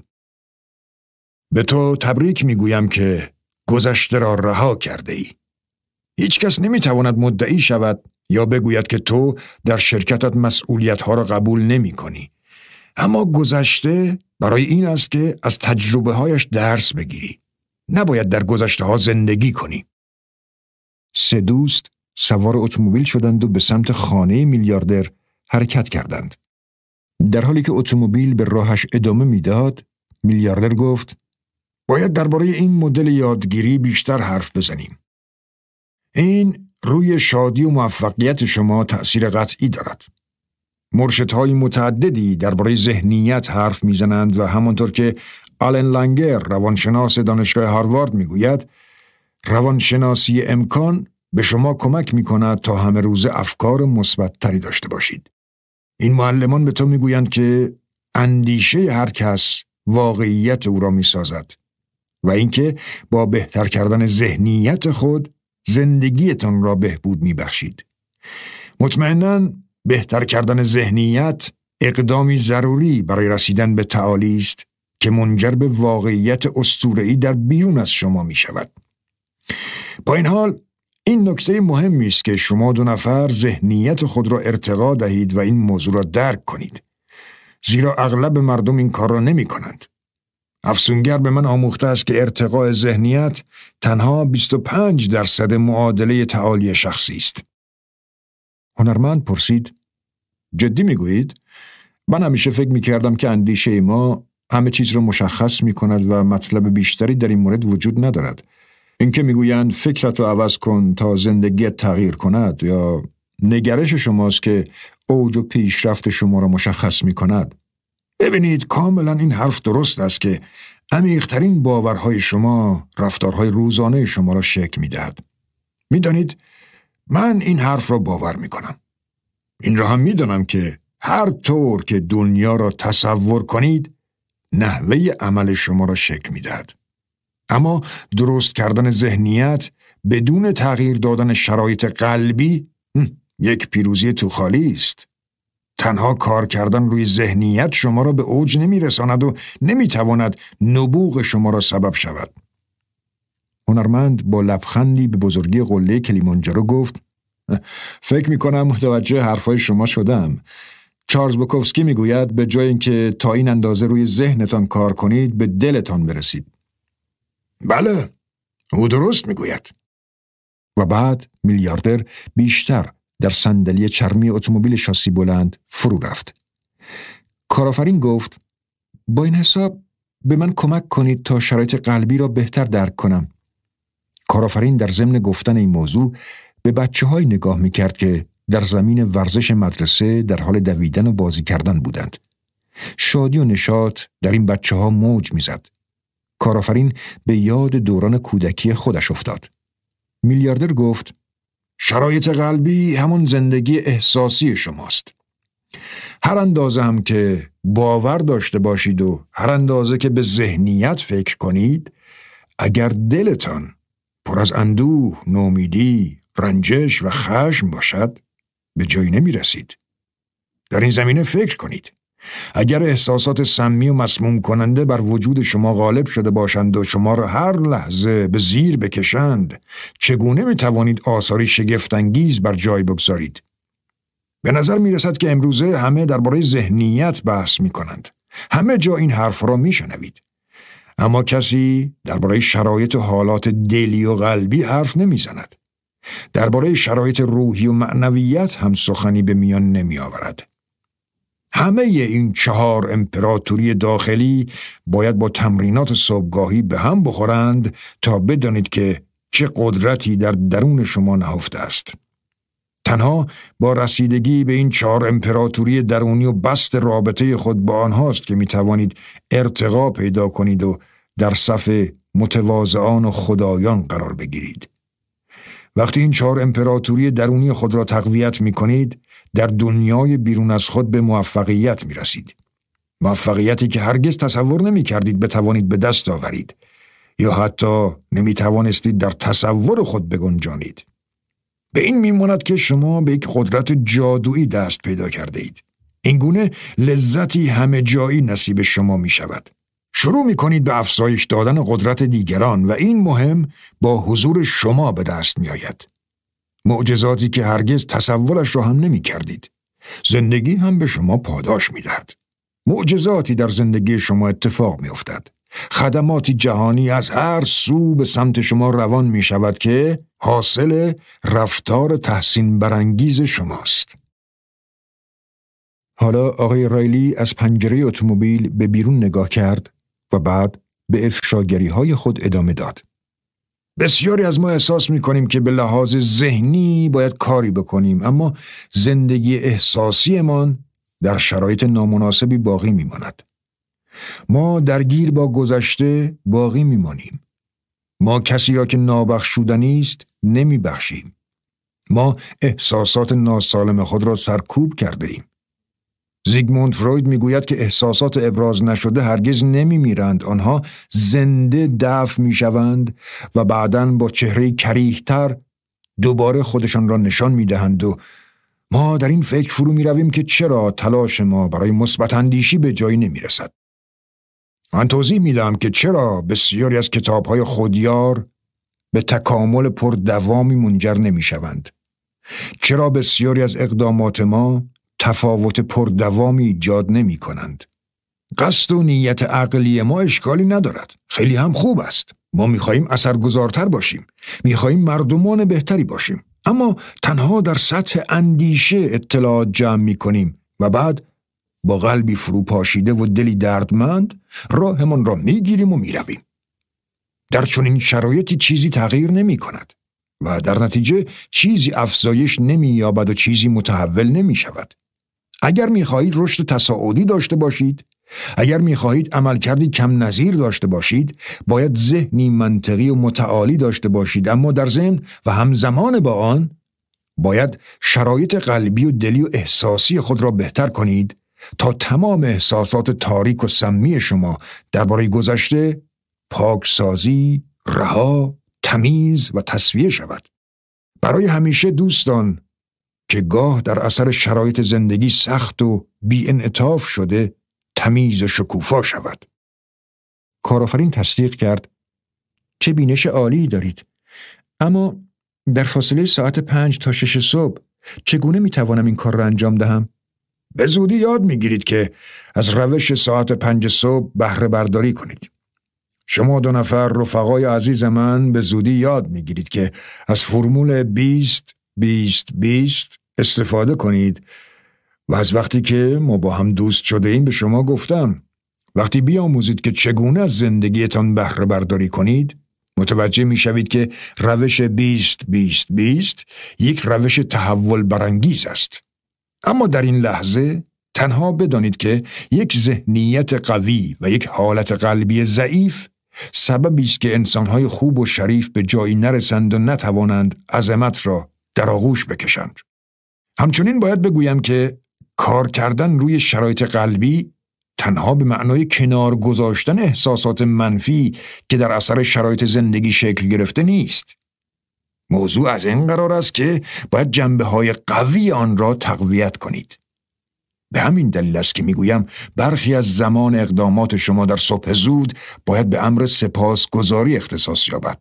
باید احساس بحت و حیرت خود را هم تقویت کنید.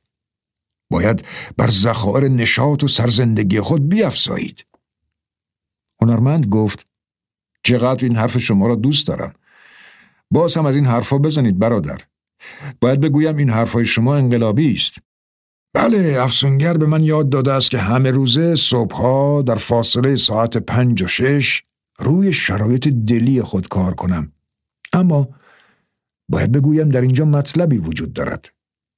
حتی تقویت حالات قلبی و همزمان با آن رشد دادن ذهنیت خود قبل از طلوع خورشید تنها پنجاه درصد کارهایی است که باید انجام بدهید تا امپراتوری درون خود را تقویت کنید تا به دیگر آرزوهای متعالی خود برسید. بعد از تقویت ذهنیت و حالات دلی نوبت به تقویت حالات سلامتی خود در هر صبح می رسد. هنرمند گفت خوشم آمد. این مطلب جدیدی است که می‌خواهم دربارش کسب اطلاع کنم. این مربوط به بعد فیزیکی می شود. اتومبیل شاسی بلند حالا از کنار یکی از مزارع بزرگ کشت چای در موریتیوس عبور می کرد. این عامل با طول عمر شما رابطه دارد. موضوع بر سر نمردن و زنده ماندن است. اگر بمیرید هرگز به بزرگی و عظمت نمی رسید. هنرمند و کارآفرین تبسمی بر لبانشان ظاهر شد انگار که خانواده از راسوها شاد و با نشاط در جنگل بازی می کنند. میلیاردر هم خوشحال بود که بازتاب حرفهای خود را آنطور که می‌خواست دریافت می‌کرد. اما من جدی حرف می‌زنم. وقتی با جدیت به موضوع سلامت و آمادگی جسمانی بپردازید اتفاقات زیبایی میافتد. این گونه پیر شدن را فریب می دهید. کافی است که تصور کنید چند دهه بیشتر عمر می کنید. تصور کنید که در این مدت از سلامت فوقالعاده برخوردارید. عمر بیشتر فرصت مناسبی است که کار و کاسبیتان را تقویت کنید. به رهبر با نفوذتری تبدیل شوید. بر میزان موفقیت خود بیافزایید و کاری کنید که بر ابعاد انسانیت شما افزوده شود. مردمان بزرگ به این نتیجه رسیدند که اگر بر نشاط و سرزندگی خود بیافزایند در شرایط بسیار بهتری قرار می‌گیرند. باید کاری کنید که مغزتان زندگی عالی داشته باشد. بار دیگر تکرار می کنم. اگر صبحهای زود ورزش کنید به سود شما تمام می شود. سلامت جسمانی به من کمک کرد تا در زندگی تجاری خود به موفقیت های بزرگی دست یابم. و حالا نوبت به معنویت می رسد. من به این نتیجه رسیدم که هر یک از ما از معنویتی برخورداریم که در مرکز وجود ما حضور دارد. اغلب ما به معنویت خود بها نمی دهیم و نسبت به آن بی توجه هستیم. به این کاری نداریم که روح و روان ما چه خواسته ای دارند. ما انسان ها تا کنون به آن بخش از خودمان که مدبرتر است و ازلی است توجه نکرده ایم. بخش اعظم مردمان این سیاره خاکی می‌خواهند کالایی را انتخاب کنند که بر محبوبیت آنها بیافزاید و به آنها احساس محبوبیت و شهرت بدهد. اما پرداختن به معنویات بر کیفیت رهبری کردن ما میافزاید. کارآفرین پرسید آقای رایلی دقیقا بگویید این معنویتی که شما از آن حرف می‌زنید چیست و کدام است؟ در ضمن مشخص بود که بعد از ملاقات با هنرمند حضور در لحظه او افزایش یافته است. هنرمند با تایید گفته های کارآفرین اضافه کرد بله منم زیاد از این موضوع سردر نمی آورم. راننده همچنان به سمت خانه ثروتمند در حرکت بود. پروانه های دیگری در هوا پرواز می کردند. دو رنگین کمان همچنان بر تارک آسمان به اطراف خود نور می پاشیدند. میلیاردر به آنها نگاهی کرد و ادامه داد هیچ پدیده زیبایی وجود ندارد که بخش های عجیب و غریب داشته باشد. حالا میلیاردر برای باغبانهایش دستی تکان داد و چون قورباغه دید زبانش را به سمت او دراز کرد. کریستوفر مارلو شاعر انگلیسی این حرف را زده است و من فکر می کنم حقایقی در حرفهایش وجود دارد. بر تقدیر برای اینکه به شما کمک کرده باشم که با امپراتوری چهارم درون آشنا شوید به این نکته توجه داشته باشید. از اونجایی که ذهنیت موضوعی در ارتباط با فیزیولوژی است شرایط روحی و روانی هم موضوعی در ارتباط با معنویت است. همین. چیز عجیبی وجود ندارد. اشاره من به دین و مذهب نیست. کارآفرین گفت لطفا در این باره بیشتر صحبت کنید. شما با این همه مطالب خود روی ادراک من تأثیر می‌گذارید. اینها حرفای من نیستند. حرفای افسونگر هستند. لطفا این را همیشه به یاد داشته باشید. من صرفا شما را تشویق می کنم که به معنویت توجه بیشتری داشته باشید. حرف من این است که صبحها با خود خلوت کنید و با تعهدات، دلسوزی ها و محبت های درونتان در تماس باشید. من شما را تشویق می کنم که قبل از طلوع خورشید با فرشته ها در تماس باشید. بزرگان و قدیسان و پیامبران همه صبح زود از خواب بیدار می شدند تا با قهرمانی که در وجودشان هست در ارتباط باشند. احساس عدم امنیت خاطر، کمیابی، خودخواهی و شادمان نبودن همه ناشی از ترس هستند. در این زمینه قبلا هم با شما صحبت کردم. اینها حالات طبیعی شما نیستند. وقتی متولد می شویم از معنویت خود فاصله می گیریم و به سمت رفتارهای گرایش پیدا می کنیم که نتیجهش انبار کردن و مقایسه نمودن است. به جای خلاق بودن، کمک کردن و به استقبال زندگی رفتن این کارها را می کنیم. صبح زود در خلوت و سکوت از خواب بیدار شوید تعمق و تدقیق کنید تصمیم بگیرید که چگونه می‌خواهید روزتان را بگذرانید. به این فکر کنید که چگونه می‌خواهید به این دنیا خدمت کنید. این گونه قوای روحیتان را افزایش می‌دهید. میلیاردر ادامه داد. بله. حالا صدای میلیاردر خیلی نرمتر شده بود. شما دو نفر در وجودتان یک قهرمان شجاع و به شدت قدرتمند دارید. می‌دانم که در نظر اغلب اشخاص این حرفا مسخره به نظر می رسد اما حرفی که من می‌زنم عین حقیقت است. شما اگر در آغاز صبح به این معنویت خود توجه کنید من تضمین می کنم که روز موفق تری را بگذرانید. باید با این بخش از وجودتان که از اهمیتی فوقالعاده برخوردار است رابطه بهتری برقرار سازید. باید به جای اینکه با نفس خود در تماس باشید با خلق دنیا روابط بهتری داشته باشید. کارآفرین با یادآوری فرمول سه مرحله ای که در جلسه قبل شنیده بود گفت و با آگاهی بیشتر از ذهنیت، حالت قلبی، شرایط سلامتی و معنویت می توانیم امتحانهای روزانه و نتایج بهتری داشته باشیم. بله بله دقیقا همینطور است. و با آنچه واقعا در زندگیتان مهم است صمیمی باشید و تحت تأثیر سطحی نگری هایی که در این روزها روح انسان را خفه کرده و باعث می شود از بهترین های وجودمان استفاده نکنیم قرار نگیرید. میلیاردر از جیبش کیف کوچکی درآورد و از داخل آن کاغذ کهنه بیرون کشید و مطلبی از تولستوی را با جدیت خواند. یک زندگی آرام در روستا که در آن بتوانید به سایرین کمک کنید. کمکی که آنها به آن عادت نکردند و آنگاه کار کردن با این امید که ممکن است دیگران از آن خوششان بیاید و سپس استراحت، طبیعتگردی، کتابخانی، گوش دادن به موسیقی و عشق به همسایه این تعریف من از خوشبختی است سه همراه حالا بیرون از خانه دولتمند ایستاده بودند. جغدی روی یک درخت لیمو نشسته بود و با دیدن میلیاردر هیجان زده هوهو کشید و میلیاردر هم با تکان دادن دست به جغد پاسخ داد و بعد گفت سلام دوست من چقدر برگشتن طول کشید؟ و سرانجام نوبت رسید به تمرکز بر روی موضوع چهارم الگو یعنی توجه به روزها. میلیاردر گفت توجه داشته باشید که هر لحظه جزء کوچکی از زندگی ارزشمند شماست. هر روز که میگذرد زندگی شما را می‌سازد. ما به قدری در آینده زندگی می کنیم که روزهای مهم زندگی را از خاطر بیرون می‌بریم.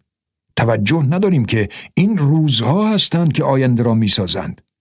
ما در هر روز از زندگیمان آینده خود را خلق می کنیم. بعد میلیاردر در حالی که به قایقی در فاصله دور اشاره می کرد گفت زندگی ما شبیه آن قایق شناور روی آب است. اگر یک انحراف از مسیر حرکت در یک سفر طولانی ادامه یابد می تواند ما را به جای برزیل زیبا به ژاپن فوقالعاده عالی برساند. تنها کاری که باید برای ایجاد یک روز عالی بکنید این است که در همان روز زندگی کنید. در هر 24 ساعت به اندازه یک درصد یک اقدام اصلاحی انجام دهید. این روزها تبدیل به هفته می شوند. هفته ها هم ماه های شما را می سازند و ماه ها سال ها را شکل می دهند. افسونگر این بهین سازی مشخص و حرفه‌ای را پیروزی های ذره می نامد. روزی یک درصد تحول مثبت در حرکت روزانه در ماه به تحول سی درصدی منتهی می شود. شما برنامه را شروع کنید خواهید دید که در مدت یک سال 365 درصد تغییر کرده اید و زندگیتان بهبود یافته است. بله، هر ماه سی درصد پیشرفت کردن چون این تحول عظیمی در زندگی شما ایجاد می کند.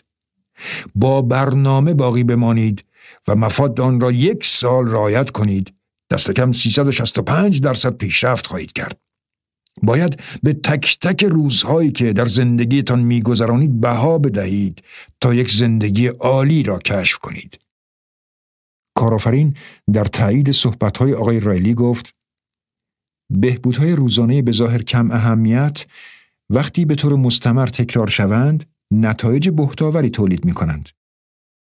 میلیاردر شادمانه در حالی که با خود زمزمه می کرد گفت زندگی چیز خوبی است. من باید کمک کنم تا وقتی دیر نشده این دو وجود گرامی به حد عالی برسند. بسیار خوب. در اینجا به مطلبی می رسیم. راه و رسم نخبگان و همه قهرمانان این است. راهی کلیدی برای رسیدن به شرایط تعالی و تسلط بر است. آنچه به طور روزانه انجام می دهید به مراتب مهمتر از کاری است که گهگاه انجام می دهید. اگر می‌خواهید تاریخ ساز شوید باید نظم و ترتیب را رعایت کنید. در این لحظه صفحه موبایل کارآفرین روشن شد. پیامی برای او آمده بود که او را به لرزه انداخت. قاتلی دارد میآید. هنرمند گفت چه شده عزیزم؟ و با این رفتارش رشد ارتباط حسی خود با کارآفرین را نشان داد. میلیاردر هم با دیدن چهره رنگ پریده کارآفرین پرسید بله چه اتفاقی افتاده است؟ کارآفرین به من کردن افتاد. روی زانوانش به خاک افتاد و بعد بلا فاصله از روی گلها بلند شد. راننده در کنار آنها اتومبیل شاسی بلند را پارک کرده بود. این این یک تهدید به قتل واضح است. کسی دارد به اینجا میآید که مرا بکشد. همان شرکای من هستند که می‌خواهند من شرکتم را ترک کنم اما من این کار را نمی کنم. من این شرکت را ساختم. من عاشق کارم هستم. من هر کاری که لازم باشد برای افرادم انجام می دهم. ما تولیدات عالی داریم. شرکتمان به سرعت رشد می کند. من آمادم که با آنها بجنگم. میلیاردر با توجه به حرفی که روی ساحل زده بود گفت ترتیب آن هم داده می شود. کافی است که به آنچه میآموزی توجه داشته باشی. به اینکه به تازگی عضو باشگاه ساعت پنج صبح شده ای توجه داشته باش. به خوش گذراندن در جزیره موریتیوس ادامه بده. به داستان عاشقانه ای که با این دوست خال کوبی کرده من شکل گرفته توجه داشته باش. آگاهی های خود را تقویت کن. از دیدن پیشرفتهایت خوشحال هستم. تو همین حالا هم در مقایسه با قبل شجاعتر، سبکتر و آرامتر شده ای. موفق باشی. کارآفرین گفت به مرور زمان بیدار شدن در ساعت پنج صبح راحت تر می شود. حرفایتان کاملا معنیدار است. روشنی بخش است. من مرتب رشد می کنم. بی صبرانه منتظرم که با فرمول 20 20 20 آشنا شوم تا دقیقا بدانم که در فاصله ساعت پنج تا شش صبح چه باید بکنم. من قبل از طلوع خورشید یوگا تمرین می کنم و کنار دریا راه می روم. با این حال به چیزهای دیگری هم احتیاج دارم. من می‌دانم اون چیزی را که می خواهم شما دارید. داشته های شما بیش از اندازه آموزنده هستند. به زودی روش کار را در اختیارتان می‌گذارم. در این لحظه تنها می‌خواهم بدانید آنچه با شما در میان گذاشتم پایه و اساس گرامی داشتن روزها و غنیمت شمردن آنهاست. پیروزی در صبح اول وقت شروع می شود. کیفیت زندگی شما با رشد تصاعدی بهتر می شود و این رشد زندگیتان را به طور استثنایی بهتر می کند. پر انرژی تر می شوید. اعتماد به نفس بیشتری به دست می آورید. عالیتر و شادتر و آرامتر می شوید حتی در سختترین روزها. البته به شرط آنکه برنامه های صبح اول وقت را رعایت کنید. حال بروید و با هم یک روز عالی را تجربه کنید. من عاشق این حرف شاعر انگلیسی جان کیتس هستم که می‌گوید تقریبا آرزو می کنم که پروانه باشم و سه روز در تابستان عمر کنم. سه روزی که به اندازه پنجاه سال از آن لذت ببریم. به راستی که حرف جالبی زده است. غیر از این است؟ هنرمند دستی به موها و بعد به شکمش کشید و در حالی که بندهای چکمه های جنگیش را میبست گفت با حرفتان به طور صد درصد موافقم. خب رفقا فردا چه ساعتی با هم ملاقات کنیم؟ او چنان لحنی در طرح این سوال داشت که انگار جواب این سوالش را می‌دانست. هنرمند و کارآفرین با ذوق و شوق جواب دادند. ساعت پنج صبح.